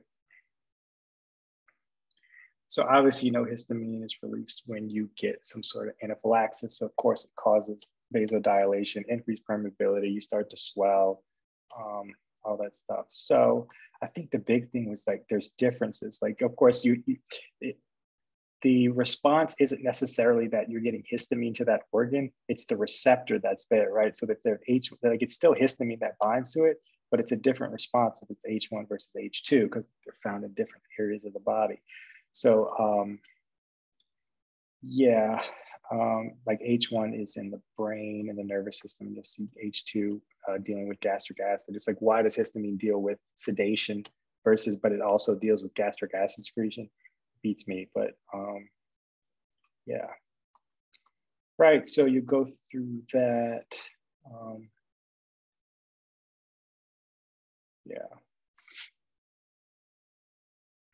Oh, serotonin. Okay, so yeah, so there's different, you need to know the different serotonin receptors. The drugs that work on each sumatriptan uh, will help to vasoconstrict in the brain. And if you can constrict uh, the vessels in the brain, you can help with migraine pain. Um, so that's how that works. And it's very different because metoclopramide is 5H4, and that actually works with gastric acid, or I'm sorry, gastric motility. So it can help with gastric motility. Sometimes paper, patients that are just had surgery or um, they're on opioids or whatever, and their their their gastric motility isn't uh, up to par, you can give metoclopramide and it'll help with that. Um, it's very weird side effect. It as it's a dopamine antagonist, so like can't you can't give this to patients that Parkinson's patient. I'm sorry, um, to patients that you give, uh, schizophrenic patients that you give these medications, because um, it can make those extrapyramidal side effects worse, the movement side effects. All right. Two is an H1 blocker, cyproheptadine. Uh, oh, for like, okay. Yeah, so for allergies and stuff. Um, and then, see, ondansetron is Zofran, uh, antiemetic. It's a great medication um, because it really helps with nausea. Like uh, it's like deep seated, like central nervous system nausea, but it works like it works really well compared to like Phenergan and stuff like that. Um, it's like uh, they use this a lot of times for uh, chemotherapy with uh, with cancer regimens to help with the nausea. And then you have the ergot derivatives. Um, yeah, bromocriptine again, yeah, that's used for Parkinson's. Oh, it can also decrease prolactin, right? Because remember, dopamine feeds back on prolactin. Um,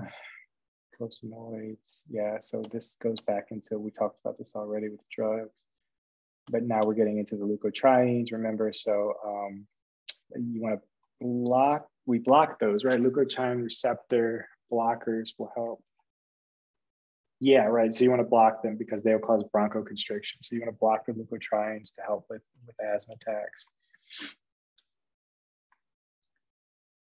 And then you have to know these two, like all that where the prostaglandins, like where where they, oops, where what uh, prostaglandin they actually are, um, where they fall under, and where what they work with.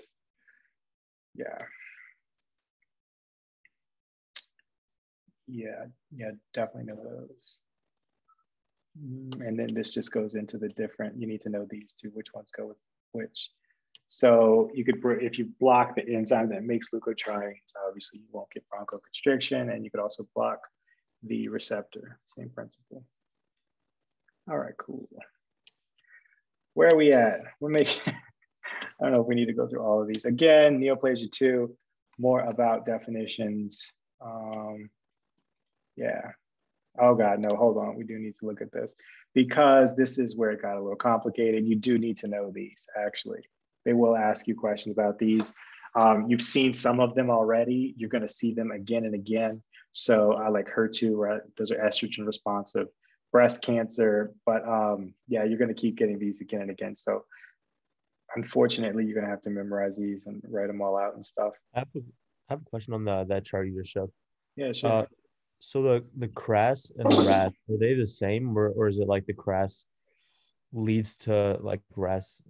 Yeah, I uh, think it's the same. It's through the same process. Like, yeah, I think that's why I wrote that there. Um, okay. Uh, I just K, I think on it. I was confused. I thought like it was a misspelling or something. I think it's KRAS. I think they call it KRAS because of that. It's the same pathway. Yeah, oh, I'm pretty okay. sure. Nice. Yeah. Um, yeah. And then, of course, y'all remember you learned about these translocations They're going to be super important 922 versus 811. Whoops. So they could definitely ask you about that. Then, of course, y'all know the hypothesis between tumor formation. Um, obviously, you need to commit these to memory too. They can ask you these. Um, no T, P, P53, super important. It's like 50% of cancers involve that. And then that's definitions. What is this? Oh, where, yeah. Mm, right. So this is how PET scans work. They they check for metabolism. So obviously tumors light up if you if you're able to identify metabolism by radio uh, tagging uh, glucose or sugar. The, the area of the body that lights up is the one that has high metabolism. And cancers have high metabolism. So they use PET scans to look for like metastasis and stuff. That's pretty interesting. Take advantage of that the ability to uh, to check the tumors. But oh, this is what they use. This form of glucose, which isn't you can't metabolize it, but it, it lights up so that you could see the areas that are um, highly metabolically active. Oh yeah, definitely know these. Um, right, HNPCC, DNA mismatch, microsatellites. Yeah, it has to do with the fact that you can't fix this these uh, mismatch repair systems down.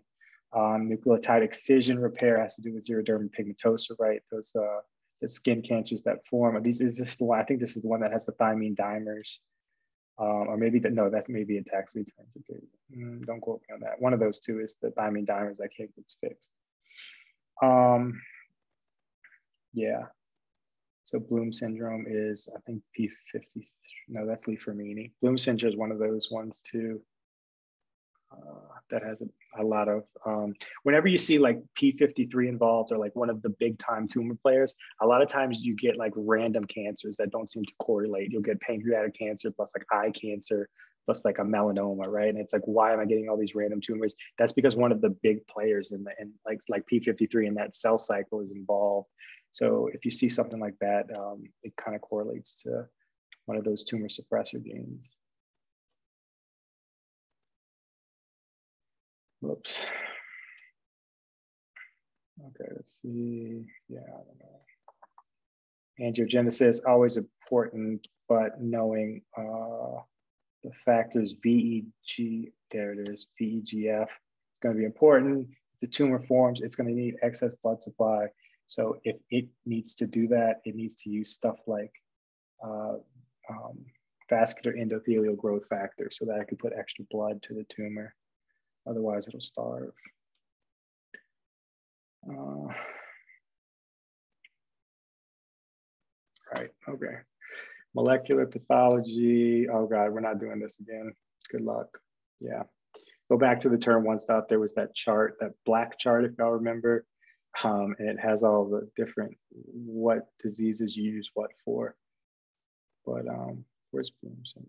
It's not there. Okay. Yeah. Mm, so yeah, I would read through this, but um, don't spend too much time on it.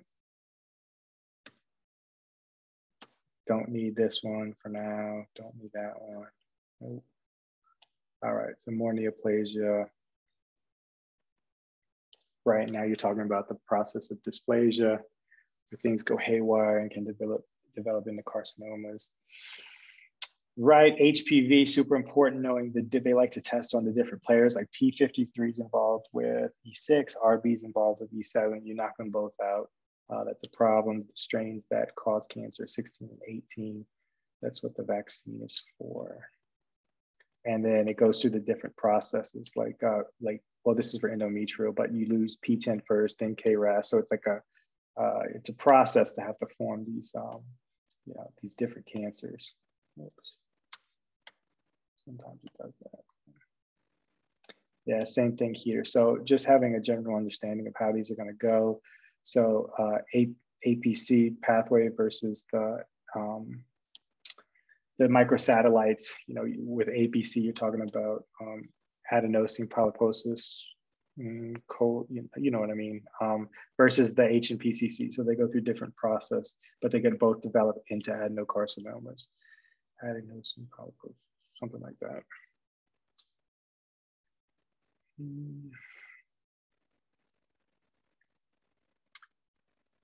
Right, remember um, Epstein-Barr virus can lead to like, um, uh, you know, the kissing disease, uh, right? So EBV can develop into Burkitt's lymphoma or B-cell lymphoma, um, mononucleosis, that's it, yeah.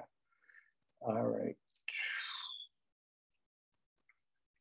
Okay, and of course, um, the problem with H. pylori and those uh, those um, Uh, the um, you know, in the gas, the, the the you know what I'm talking about. It could lead to adenocarcinoma. uh, Lynn, Thank you, buddy. All right, bone infections. Nah. Oh, is this where we start getting into? Yeah, so this is like an introduction to all the skin stuff. Yeah, it gets pretty confusing. All right, neoplasia four, and then I'll let Lindsey take over. She could do the skin stuff. Oh, the grading system. Uh, you don't need to know like literally how everything's graded, but you just need to know uh, how like how the grading system works, like what's the most important stuff. Um, right, so of course, characterize the tumor, has it gone to regional lymph nodes and distant metastasis. Obviously, M is going to be more important because if that happens, that's a huge problem. Nodal involvement is secondary, and then describing the tumor, though it is important, is the least important of the three. So you don't know how to, you don't have to know how to stage tumors or stage cancers like that, but just having a general understanding of, of the process that works um, will help you out. Oh, these are super important to Paraneoplastic syndromes. You need to be able to understand what goes with what. So, hmm, those are really big later. So just know what they are and that they exist right now. Yeah, well, yeah, but in the specifically, they'll talk about like parath- parathyroid hormone, or it looks like PTH, and it's secreted from these squamous cell carcinomas of the lung. So um, that's a good example of one. Um, like the patient will come in with hypercalcemia, and you'll be like, I don't see, I don't know why. Like they're, um, it doesn't seem like there's any problem with their parathyroids. Their calcium levels are fine. Come to find out, it's being secreted from this tumor in the lung, which you wouldn't expect.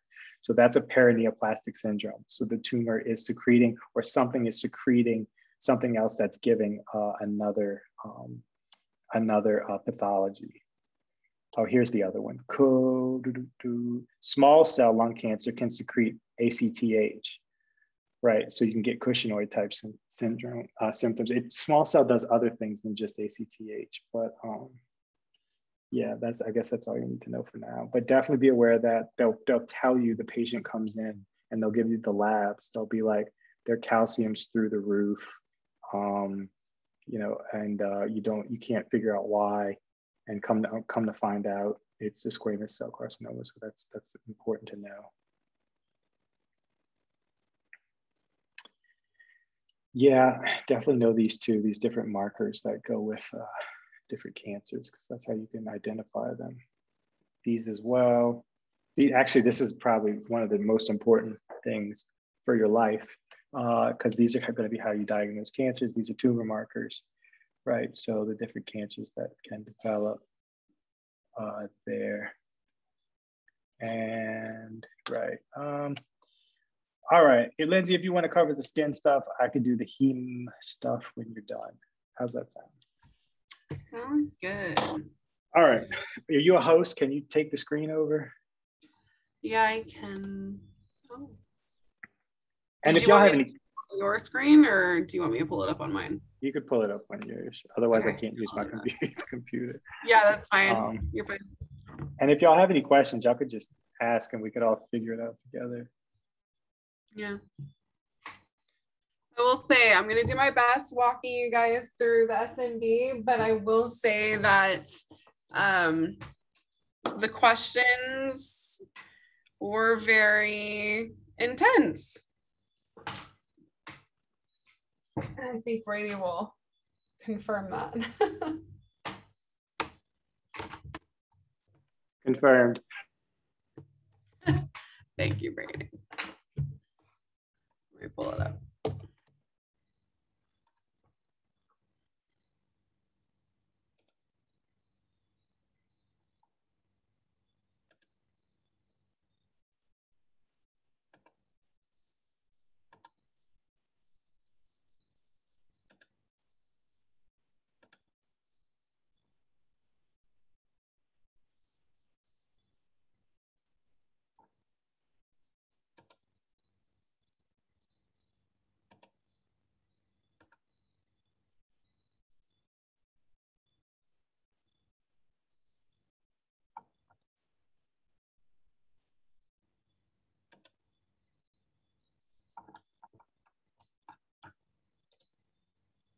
Sorry, I'm trying to pull them all up so I don't have to go back and forth for you guys.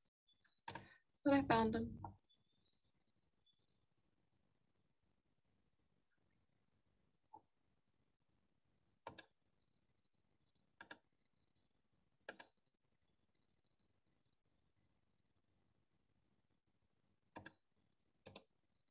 Wow, there are a lot of SMV lectures.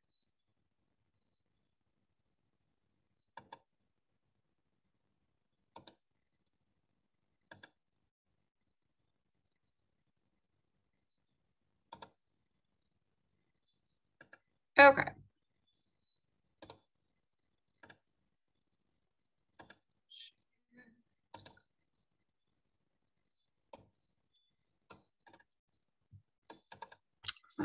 Come on. There we go. Okay, so this is just your overview. It's just an intro. So defining different characteristics, and of course, this will kind of take you into everything else. So talking about the microbiome, we don't really have to go through that. Um, just examples, infections by body site, Special questions. Hey Lindsey, can you can you zoom in on the screen? It might be a little easier yeah. for them to see. Yeah. This lecture, the DLA, I don't even think I paid attention to it very much, quite honestly, because it was such an overview and all of this stuff is expanded upon in the lectures. And so I'm not even going to spend any time on that. So we're just going to start with SMB 1. So you'll notice that Dr. Rayner is very organized in how she goes through her stuff. And so I, you, you guys know I love chunking material and I would do that. So when it says tineas, dermatophytic fungi, group that together. Um, just go through and make sure you're chunking everything um, like with like. So this is a chart that she provided for you. She does have a PDF of it. I would print it out. I found it helpful. Yes, the small differences are going to make a difference, especially when you get to the ones that are very similar with one another. Okay, this is just intro. This is also intro, intro stuff. Okay, now getting into the good stuff.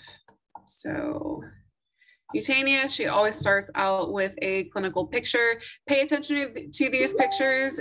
Um, they like to put pictures on the exam with in reference to specific identifying features of a pathology of a microbe. Um, it's much easier than in year one, which was a lot of identification. This is more, it helps you um, pinpoint what you're looking at. And so if you can remember, okay, this is what this is, it can easily get you to the diagnosis before you even get through the vignette. Um, and so uh, familiarize yourself with this. This is something that I didn't do as much of in FTCM and I regretted it. So key questions, um, this is duration. Is it itchy elsewhere on the body, systemic systems? This is fever, chill, stuff like that history of bites or pet contact. This is really big because they love, love, love reservoirs and um, modes of transmission. Physical exam, annular lesions, pay attention to this. This is what they're going to use in the vignette to tell you what you're looking at. So they'll tell you a patient comes in with a certain presentation, physical exam shows annular lesions with a central resolution. This is how you are going to pinpoint what you are looking at. So anytime it gives you um, symptoms or an exam, just know that that's what's going to show up in the vignette. So tinea ringworm says gradually enlarging O-shaped. This is one of those um, buzzwords, O-shaped. Uh, raised scaly, this is important because when you talk about different rashes, when you talk about different region, lesions, the description of those lesions is very, very, very important. So raised scaly borders is a very indicative thing of this lesion, of this tinea wingworm le lesion, then slowly expanding peripherally um, with a clear center.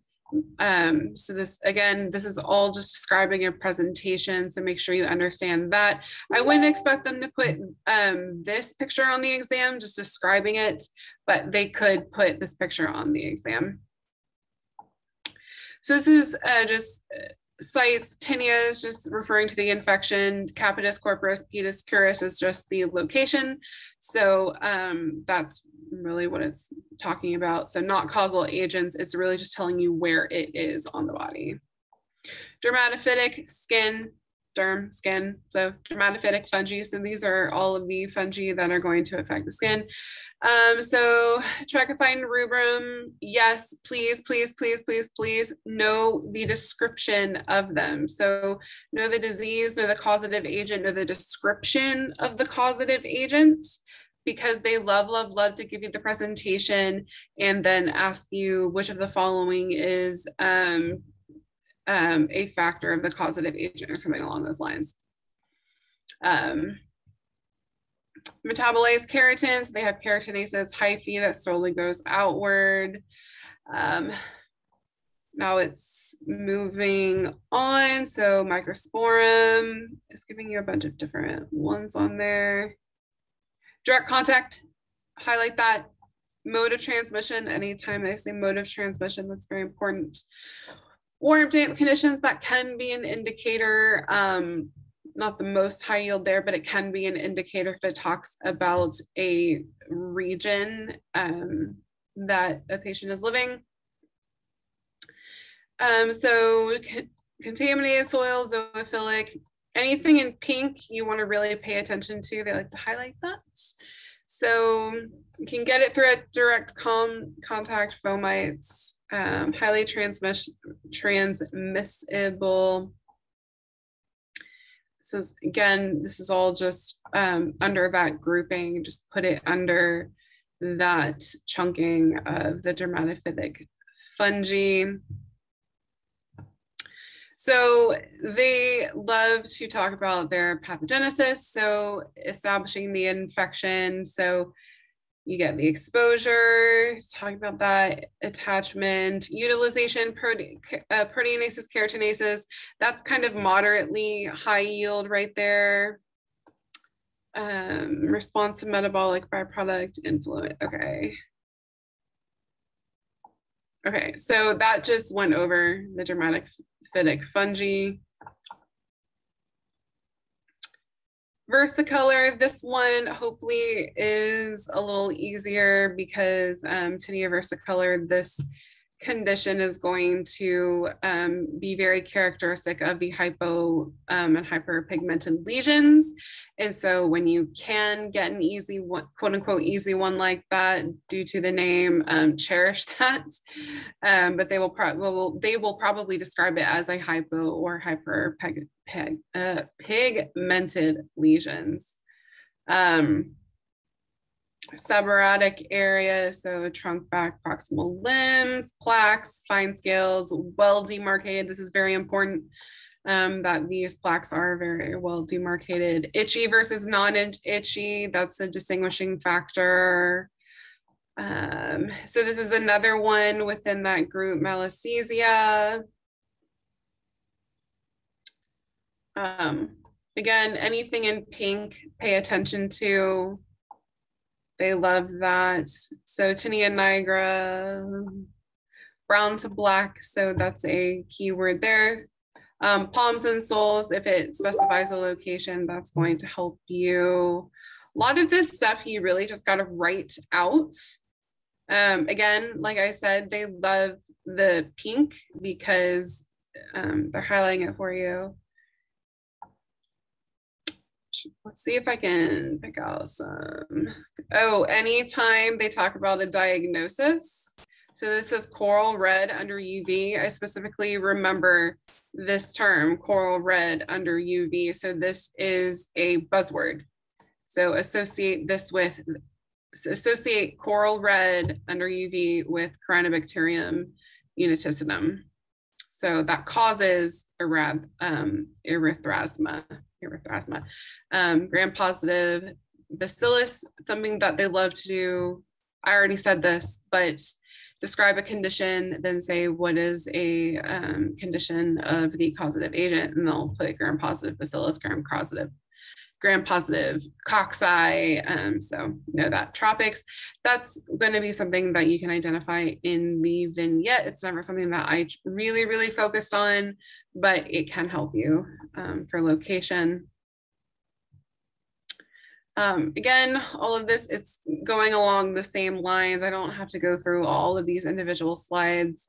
Um, species remember they're highlighting things in pink focus on the pink um the when they go through the life cycles here these will get important um i don't remember them being too important smb but what you want to look for is the diagnostic and the infectious stage and so if they specify a diagnostic and infectious stage, you need to highlight it and you need to remember it because it is very testable, it is very high yield. Um, but for the most part, so this says, um, so eggs and feces, form larvae hatches, develops. So this doesn't actually specify what is the infectious versus the um, uh, whatever form, but that is very important. You need to understand that. But anything else on these diagrams, you can pretty much just look at once, understand it, but commit to memory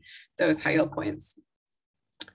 Um, again, this is all kind of the same thing I was talking about. Again, um, they might use these pictures. This is a black eschar. Again, high yield points. Um, so you're talking about anthrax. I don't have to go through this. You can read the slides.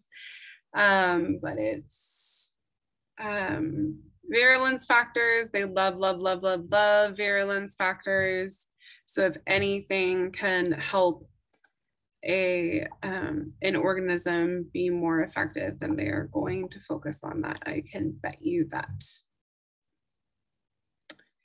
Um, so again, this is just going through this same thing. Oh, this, I remember this lecture spending a lot of time on this specific, specific lecture. So SMB infections too, because they go through this and there's a big difference um, in the cases uh, oh, so impetigo, scalded skin syndrome, shock syndrome, bullous impetigo. I spent a really long time on this um, because the slides are a little out of order or they were when we did it out of order in the sense that in how I like to organize my information. So I spent a really long time on this lecture organizing it how it made sense to me. But you do need to go through and um, understand the different conditions and it says toxin mediated. So each of these is going to have a different pathogenesis based on the toxin.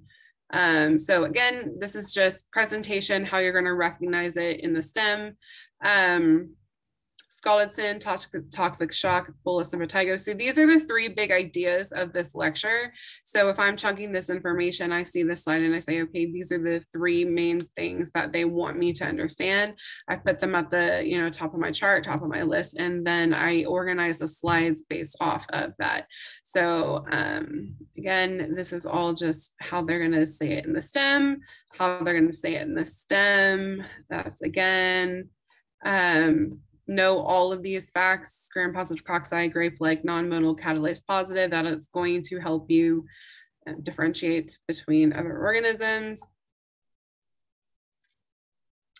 Um, exotoxin versus endotoxin, understand that. I'm trying to figure out where the, okay, here we go. So the target for scalded shock is desmoglein 1. That's big. Um, so this is it. This is the super antigen toxin. So if if I'm chunking all this together, this is the big point under super antigen toxin. Um, after I understand how they're going to represent it in the stem for me to under to understand what I'm looking at. Um, and then you know then tetrodotoxin A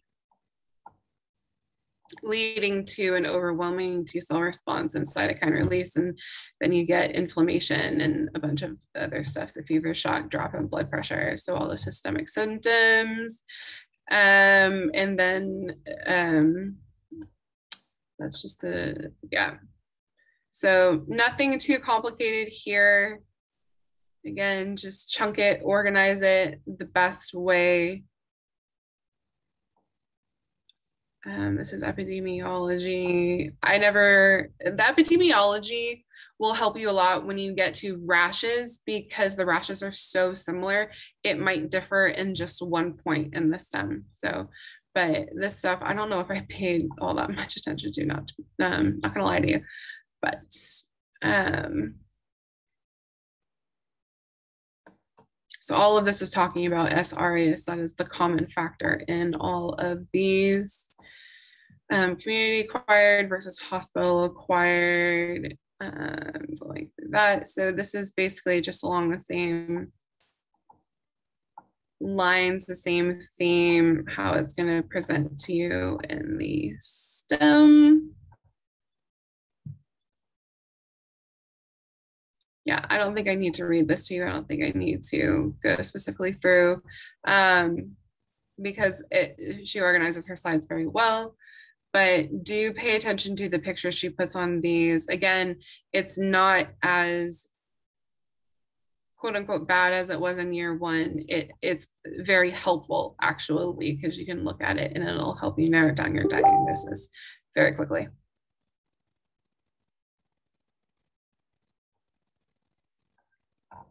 Oh, and with histo, somebody asked earlier in the chat how big they are in histo. Again, simply with respect to big identifiable things for different um,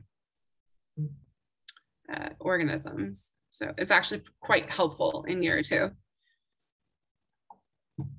Okay, again, this is all on the same lines. I don't need to go over that with you.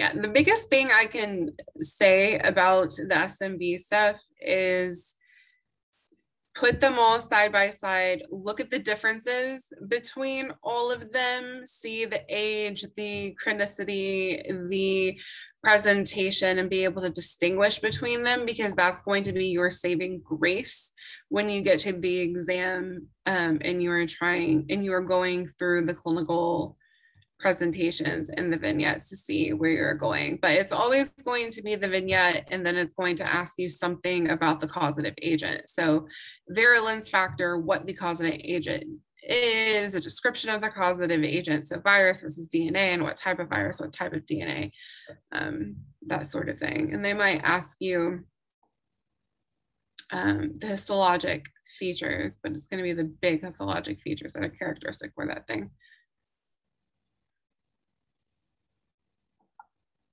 You guys went over coag and catalase test earlier and the difference between staph and strep. I'm not going to go through that.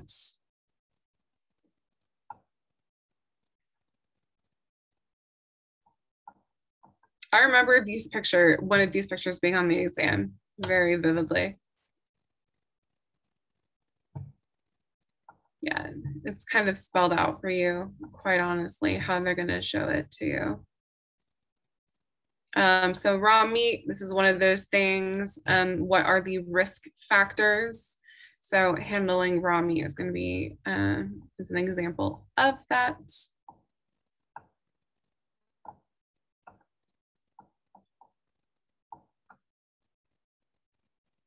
Yeah, um, paronychia, this is just um, at the nail bed.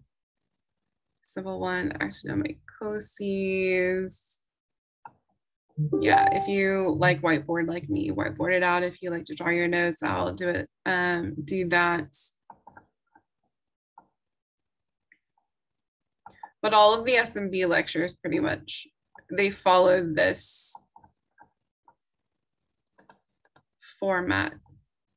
I don't have to read them at you.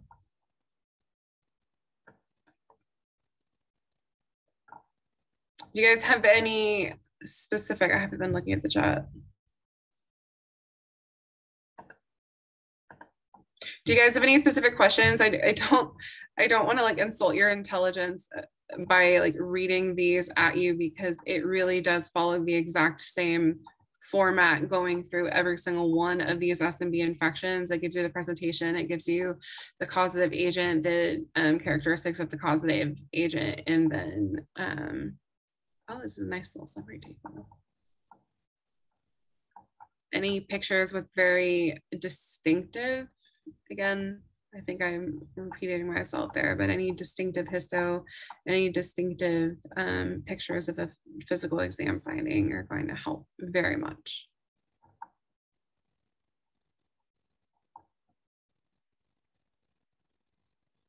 Um, something to pay attention to as well, if there is a specific risk factor, let's say you know, a farmer or somebody working in the slaughterhouse or somebody went hunting or something along those lines. And so um, the occupational history, the lifestyle history will be a very good thing to help you through that.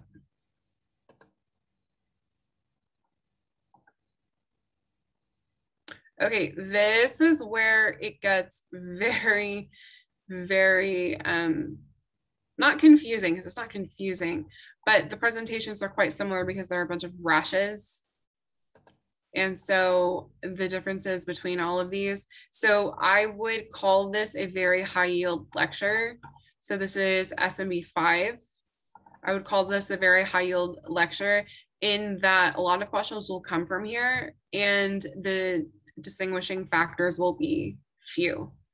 So make sure you understand each individual presentation. Um, so the biggest thing is the type of rash. So pustular versus MACPAP versus, um, you know, if, if it can be MACPAP or vesicular. So first distinguish between these two. This will be very indicative in your question stem on the type. And then you know it narrows it down and of course you have the different presentations um, you need to notice the vaccination status because that will clue you in on if it can be something or not so for example um, you know most children in the united states are uh, vaccinated against, uh, you know, MMR, so measles, mumps, rubella. So if you have a vaccinated child, you would kind of steer away from those things versus if they're unvaccinated, then that's a red flag. Oh, hey, I should probably look at these things because it could very well be that. Um, Notice where this rash appears. So first on the abdomen and then it spreads everywhere else. So the that is the development of the disease. So multiple stages at all the same time. That is a very high yield point. So you have macules and papules and vesicles and pustules and crusts. So um, it's just a whole hodge, hodgepodge of things. Again, we're talking about kids here. So varicella, this is still under the um, chickenpox um, umbrella.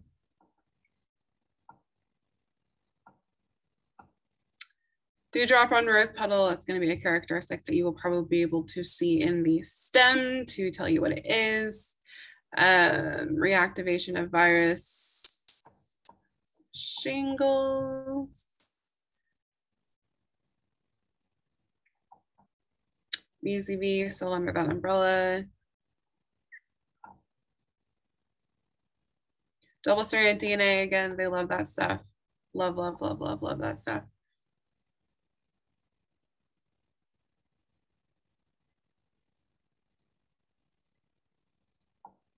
So HSV1 versus HSV2. It's so funny. We were tested over so many of these things today. Okay, now going on to the MACPAP rashes. Again, small child. Um, pay attention to the physical exam. Again, no history of childhood vaccinations. Noticing the specific ones. It starts on the hairline, sides of neck behind the ears, and spreads to the trunk, including palms and soles. All of these are words that, yes, you do need to memorize because they will help you distinguish between them. Oh, and um, this was also a big thing. I do remember this slide being high yield in understanding the presentation of the disease um, with respect to the different phases. So do look at this and understand because that um, it can say, it means that the disease can present differently at different times. That's it. But hey, can you go back up to that last one? This one? I, yeah, the one right before with the graph. Uh, yeah, this. They I remember them writing questions saying like the fever started and then on like day four they developed a rash and the rash went away before the fever stopped. Right. So that that'll differentiate it from other ones where the rash starts first before the fever. So not only knowing the rash, the distribution of the rash and how, rash and how it progresses, like it went from trunk to arms or it went from face to neck to palms or whatever not only knowing that but knowing um, like what happens first. Like it's only it's only a three day rash right? And it's a 10 day fever. So knowing those will help you differentiate it on the exam because a lot of these are really close together. Yeah. Very close together.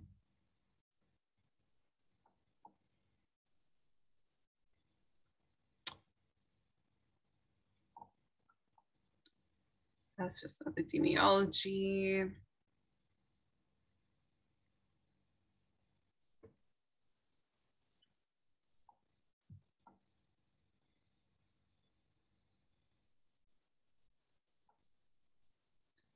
Um, I'm trying to figure out some good high yield stuff for you guys.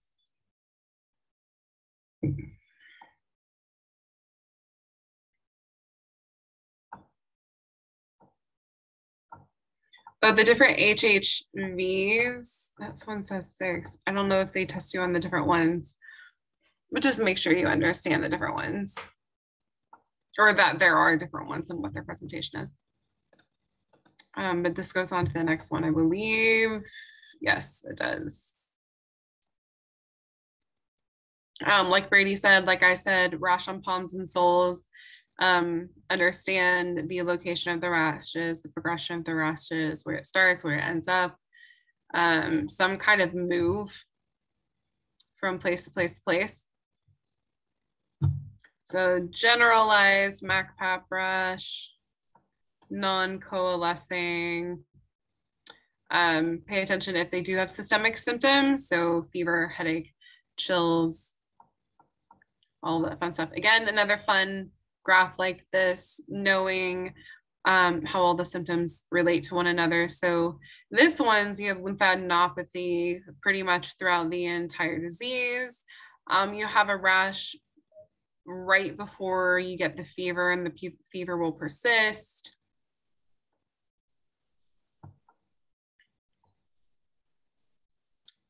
Always know the family. Transmitted aerosol droplets, they love transmission, like I said.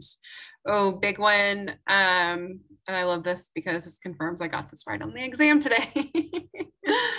um, but congenital rubella, you get um, the, this classic triad. we'll be covered more in congenital infections and MNI. Oh, fantastic. Thank you. That was our exam today. oh my God. Uh, I feel like I was just slapping the face with that. Um, rubella, measles. Oh, I do remember them distinguishing the difference between German measles and measles, so rubella and um, rubeola. So know the difference between, so this has no Koplik, spots, no spotophobia, no happy hacking cough, whereas measles does.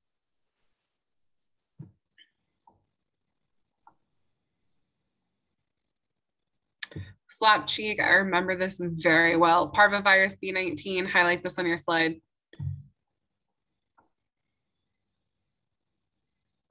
Common in school children. Um, they say common in school ch- children in places where there are um, large populations like daycare, military, college campuses. Pay attention to that because that will be something that they use in their STEM and it can narrow down your differentials very quickly. Um, receptor P antigen, um, antigen, again, a virulence factor. I love it. Um, notice if something is bad in pregnancy. A lot of these do have teratogenic effects and will cause congenital defects. Again, another awesome graph telling you the symptom progression throughout the disease.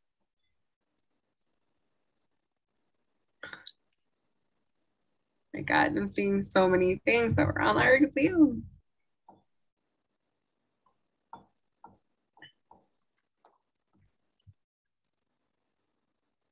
Again, same thing, family, description, description of symptoms, all of this stuff. This is the pathogenesis. Okay. Um, know the different ones if they specify different conditions with different ones. Um, so if, if, for example, if they specified something for Coxsackie A versus Coxsackie B, know the difference between the two of those.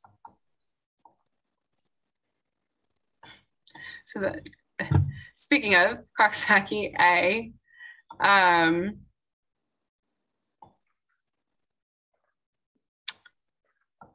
it's going again pretty much um, not frequently associated with malignant carcinoma.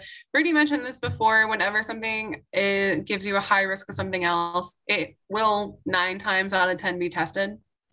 Hint, hint, wink, wink.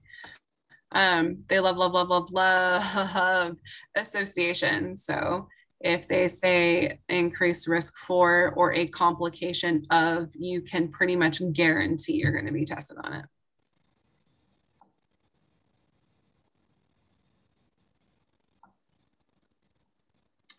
Yeah, more good buzzwords, more good distinguishing pictures. Um,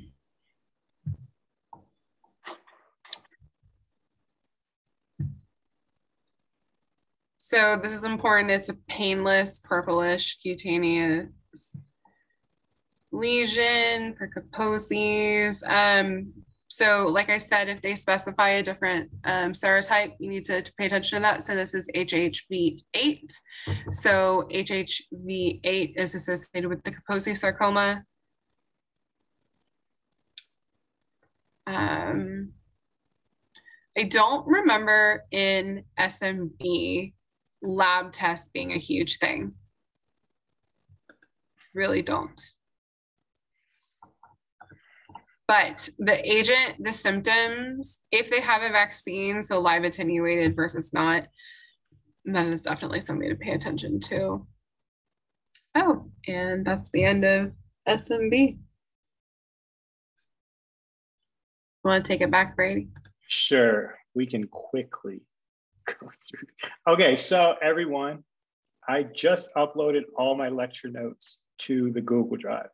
So if you want to go look at that and see um, what I highlighted, what we've just been looking at were my note, well, for my stuff was my notes, um, obviously. um, so y'all could go if y'all want to look and see that. That's fine. Okay, so quickly, um, hemodynamics. So, well, we talked about this a lot in renal, right? So we, it's again a good bit of review. Y'all remember all this stuff. I don't know if I will even ask you some of this basic stuff of um, differentiating it used to be three fourths. Now it's four fifths, apparently. I don't know. I learned it as three and one fourth, three fourths and one fourth, but whatever. Okay. Um, so uh, we talk about edema. Remember, hydrostatic pressure pushes, pushes out, oncotic pressure pulls it back in. So the big thing they talk about, if you have liver failure, the reason you get ascites is because you're not making protein, uh, you're not making albumin. Albumin stays in the vessels, so it helps with that plasma oncotic pressure. Oncotic pressure is the same thing as colloid osmotic pressure. That's the same thing. So this oncotic pressure holds fluid in. If you don't have stuff like albumin, these big proteins, you can't hold the fluid in the vessels, you get ascites. That's why those kids that are protein malnourished get kwashiorkors because they don't have, uh, they don't make protein, they don't make albumin, so they have no plasma oncotic pressure. The hydrostatic pressure overrules and they get a lot of fluid buildup, okay? That's one of those things with uh, hydrostatic pressure. And depending on the pathology, um, you can kind of dictate what's causing the edema, right? Edema can be a CHS problem, could be a sodium problem. Uh, it completely depends on the situation, right? So knowing that will help you get through some of this other stuff. I like how they did it in clinical case format. It's kind of like a question. It outlines a little scenario for you. So yeah, but this all goes through the idea of um, of going through this oncotic versus hydrostatic pressure, my advice would be to don't go on to um, these hemody hemodynamic lecture two until you understand this one, right? Make sure you understand the whole idea of this. Um, and then vasogenic edema is actually is vascular. We actually did this. This looks very familiar to a slide we had for our test. Uh, vasogenic edema is um, caused by the vessels. Extracellular cytotoxic is obviously intracellular cell death. So some of the reasons that could be caused, causing that are here. Um, obviously, if you give hypoxia or ischemia to the cell, the, side, this, the cells will die. You get this intracellular rupture or intracellular based edema. Right. Um, we actually had this in our exam too. Uh, right, so the different herniations, subbowel here, uh, tonsillar herniation here, uh, here, right here through the foramen magnum. So this will pinch um, the, uh, the upper aspect of the brainstem and you can get, uh, you lose consciousness, you have problems with respiration. You also have the transtentorial one, this was on our exam actually, um, where this guy had an epidural hematoma. Uh, this herniated through and he had uh, one blown eye, right? He had one eye was blown because you're compressing on the parasympathetics here of oculomotor nerve three. If y'all remember from neuro, so good for y'all to know these two and the symptomology that can happen with any of these brain insults. All right, short and sweet. Let's see, what are we doing here? Hemorrhage, shock, okay, great. So again, a good bit of review, just kind of elaborating on some of the other, uh, uh, on stuff you've learned in the past. Hyperemia just means increased blood there um, in that area. Um, that you can develop. So if you have some sort of injury there, you get hyperemia to the to the area, just increase blood there. Um, right, and then you talk about venous congestion as well. If you primarily you talk about this in the liver, um, uh, when you get these heart failure cells actually develop in the liver um, because if you get backflow from the right heart into the liver, um, you end up getting portal hypertension and you get this congestion. Remember, we talked about this, the area area one that's closest to oxygenated blood gets the toxic uh, um, toxins first, so they'll die from toxins. Whereas as you progress, zone three, you'll die from ischemia just because uh, you use oxygen as you go along. So this area is prone to toxin damage. Zone three, closer to the portal or the central vein, uh, is prone to ischemia. And then hemorrhage, right? Different types of hemorrhage. These are, this is what petechiae is, these little red spots. Uh, usually this has to do with thrombocytopenia. If you, if you, if you don't have thrombin um, to make uh, proper clots, you get these little micro injuries and then you get these little blood, this little blood formation, right? So these are little blood clots, not clots, but little blood uh, aggregates there. That's what petechiae is. You can see that's due to thrombocytopenia because you don't have um, uh, you don't have platelets to help with uh, clotting that off on a very a mi microscopic level microvasculature. Again, okay, so DIC, whenever you think of DIC, disseminated intravascular coagulation, you're thinking like you're on the verge of going through such shock. Like your, your, the, your blood uh, is getting to a point where things are just starting to clot uh, little clots are forming in the vasculature because there's so much going on. Uh, there's inflammatory cells going. Uh, maybe you're going through some sort of hypovolemic shock or something like that. So um, you want to watch out for that. Anytime that's always a red flag for um, you know big problems coming uh, coming on. So um, it happens in a lot of different situations, uh, but that's usually what it means. right, and it kind of goes through, see like these are very different situations, but they all kind of mean like they're like an oh shit situation, right? And right, so these are precursors or acute inflammatory responses to that. Um, yeah. And then it kind of goes through the different ideas of shock. Y'all touched on this, I guess, in cardio, but this goes into the, the different types of shock. So it's important to know the different ones. They kind of make sense. Cardiogenic is your heart fails. Hypovolemic, you don't have enough volume there. Septic, usually due to some sort of um, microbial response to it. So um, and you get those these toxins related to all of the the infections going through, and you can go to septic shock. Pretty much all of them lead to hypovolemia because you get massive vasodilation, but they have different causes there. Neurogenic anaphylaxis as well with that histamine release. Um, right, and the stages of it. Um, so yeah, I mean, this is good to go through. This is stuff that's going to have real life situations that that's going to go. Um, yeah, but again, it's kind of good they give you these little situations. These they'll tell you all the important stuff you need to know in the clinical scenario. To skin, muscle, and bone. How you did that good. All right, what's this about? Let's check our roadmap. Mm, septic shock right? Okay, so same thing, right? They'll give you a little scenario. Uh, some sort of um, bacterial infection went haywire, got into the bloodstream. It's, you know, problem. Of course, if it's in the bloodstream, you can get DIC, these little clots that form all over. Um, uh, right, you can lead to toxic shock syndrome, depending on the causality, and super antigen formation as well. And things that kind of go together thrombosis, DIC, increased vascular permeability. Uh, these all lead to a procoagulant state, right? So any of these, well, DIC is coagulation in and of itself, but it's going to just be um, exacerbated from uh, there on. Right, so some of the major players here. Um, again, I, like I said, I posted this stuff. So if y'all want to go see all the stuff, like the red stuff is super important to me. Um, and like like of the clinical features, like the yellow things would be like, well, you could kind of see that in a lot of different things. I don't know that I'm super important. I'd call those super important. Green's kind of like, okay, um, that's something to take note of, but by all means for the exam, you want to be able to differentiate septic shock. So that's kind of my rationale when I, when I highlight these things. Um, and then it's still septic shock, coagulation band necrosis. Um, that can happen. So that's that would be like a good uh, buzzword to know that that correlates to that. Some of the areas, the hippocampus is always uh, at danger um, with ischemia, right? Now I wouldn't consider it a watershed area, but it, it's still that the, these are these uh, neur neurons are very susceptible to injuries in those situations. Then thrombosis, y'all know about that. We're forming some sort of clot, um, not an emboli, it's not traveling, it's just forming where it is. It's of course, if it, if it um, ruptures, it could lead to um, and emboli. These are super important. You have to know all three of these. These lead to thrombosis. So some sort of injury, some something that's going to tell the platelets, okay, we're going to uh, we want to coagulate, right?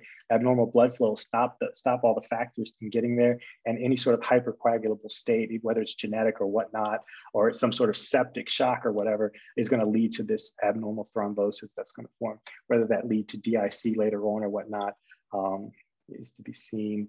Um, right? So turbulent flow, of course, uh, this would uh, be prone to forming uh, clots. Trousseau sign. Oh, from necrotic cell, okay. Um, yeah, and then some of the hereditary causes, this is lead to hypercoagulability, Factor V Leiden, these, these patients that have this deficiency, they're prone to, to clotting. Uh, antithrombin 3, that's where heparin works. If it's uh, you can't do that, then um, clotting. And these deficiencies, these are anticoagulants as well. All right, so again, and then the last one, what are you doing? All right, we can go into emboli, right? So these different, first the different types of, this is important. Um, they ask about this, this lines of Zahn uh, indicates a, th uh, a, thrombus, right? So um, if, if there's a clot that forms, platelets are not involved. But if it's a thrombus, the platelets have to be involved. If the platelets are involved, you're going to get these lines of Zahn. Okay, so they do ask about that um, in regards to platelet, platelet uh, aggregation. Right, so this is the idea. The thrombus forms, forms a clot there. Hopefully it breaks up. If it dislodges, uh, you probably, you know, you're looking at a PE or something like that, or um, a DVT, uh, right? Depending on where it is, venous. Um, it, get, it gets lodged in the legs and stuff like that. And then arterial thrombi uh, usually tend to come from the heart, stuff like atrial fibrillation when the heart's shaking like that. That's that turbulent flow and you could form a clot and it shoots through the system. Right, you can get an MI and stuff like that. Here's more Trousseau sign thrombophlebitis, so inflammation and clotting formation in the vessel. Um, and it could be uh, a sign of an abnormal malignancy. I can't remember that coming up, but at some point, I guess I was listening to lecture and I felt like they kept harping on that. And then of course, right, emboli, very bad. Don't want that to happen. Gets to the lungs. If it's big enough, you get a saddle embolus that could lead to um, instant death. All right. Remember, sometimes with patients that have um, some sort of VSD or some sort of shunt, uh, right to left shunt, you can get a clot formation, a venous clot, and it gets through the hole in the heart and goes arterially and it can go straight to the brain, right? That's a paradoxical clot. I'm not sure they should talk about that at some point, but um, that's always a risk factor. Because um, if, if it's in the venous system, it gets lodged in the leg, like yeah, that's bad, but it's it's very it's much worse if it gets through the heart to the arterial side and gets stuck in the brain, right? Okay, and then of course it goes to the different ones. Uh, make note of this picture. This is a saddle embolus. Look how large that is. You cannot breathe. You cannot get airflow into your lung if you have a big old clot, uh, saddle clot right there, and you, this leads to instant death right? Here's the paradoxical, right? So venous circulation goes through the heart from the right ventricle to, to the left ventricle, for instance, uh, systemic system uh, right to the brain. Um, so that's always a problem for some sort of stroke. Again, they give you a nice um, clinical case. Fat emboli, uh, you're always thinking of um, um, a fracture. They always talk about this in regards to a fracture. So if somebody comes in and they broke their femur, these flat fat globules, which you wouldn't necessarily think there's like fat in the bone, but there is. And there's like these big fat emboli that form. Um, and then, so usually the questions I've seen about this uh, correlate to um, some sort of uh, serious bony fracture, bone marrow embolus. Yeah, so there's fat in there. Air emboli, childbirth um, is classic for that.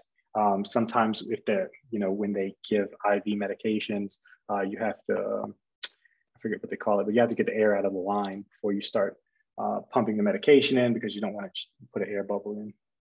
Scuba diving, you're talking about the bends, um, nitrogen uh, toxicity. That's why you have to do safety stops and stuff because um, you don't want the nitrogen to come out of the tissue into the, the vasculature and cause these emboli. amniotic fluid obviously is from um, pregnancy. Uh, I like this picture. I think this was one that they like to use um, so that's indicative of an amniotic fluid embolism. Then atherosclerosis, of course, if that breaks off, that's a problem as well. Renal artery, yeah, even the heart, right? Um, and then just some other ones. Let's see, this looks CKMB and troponin, guy had a heart attack, right? Yep, occlusion. White infarcts, pale, right? Little bleeding, of course. If it's pale, there's no blood, little bleeding. Uh, so solid organs that don't have those anastomoses, uh, kidney, spleen, kidney, spleen, heart, um, like that spleen picture we saw earlier, uh, arterial occlusion, which is these red infarcts, venous infarction. So you get uh, congestion followed by, so like um, a lot of the backflow um, uh, is there. Like, so there'll be a lot of blood there and then you get the infarction. So that's why it tends to have excess blood in the area. So you can differentiate them uh, by, by looking at that. So you can see that here, this wedge shape right here, infarct. Um, so this would be an example of coagulation necrosis. All right, so again, dual blood supply, you would expect more blood, it would be a red infarct versus um, some of the areas, like the heart, for instance, has those white infarcts. They don't have a lot of collateral blood supply, right? And um, as always, the timeframes are important for MIs and cerebral infarctions too, especially in pathology, right? We want to know what's going on. 12 hours starting it, um, 48 hours, it's getting worse. Um, you're starting to get these uh, um, macrophages in the brain to um, work harder or try to take away the debris. And then you start uh, weeks later, you get this liquefactive necrosis. Right, and you can see that here. See over time, yeah, you kind of see it there. Uh, over time, it gets really bad. And you can see this white, see this is the heart, you see it's white, right? There's not a lot of collateral blood supply. This is, this is likely arterial. So that's why it has this white coagulation necrosis. All right, that is all we have. Um, I know it was long, I know people had to go. Um, if y'all have any questions, uh, feel free to reach out. Obviously, ideally, we would have had stuff put together for y'all, but um, we we had our exam. So I, we, we, we, we know y'all understand. We did, you know, we just uh, wanted to you know, make sure we did this for you guys. So if uh, I have any more questions, uh, if not, you're free to go. I'll go ahead and stop the recording. If y'all need anything, just reach out. Uh, good luck on your exam. I'm sure y'all will do great.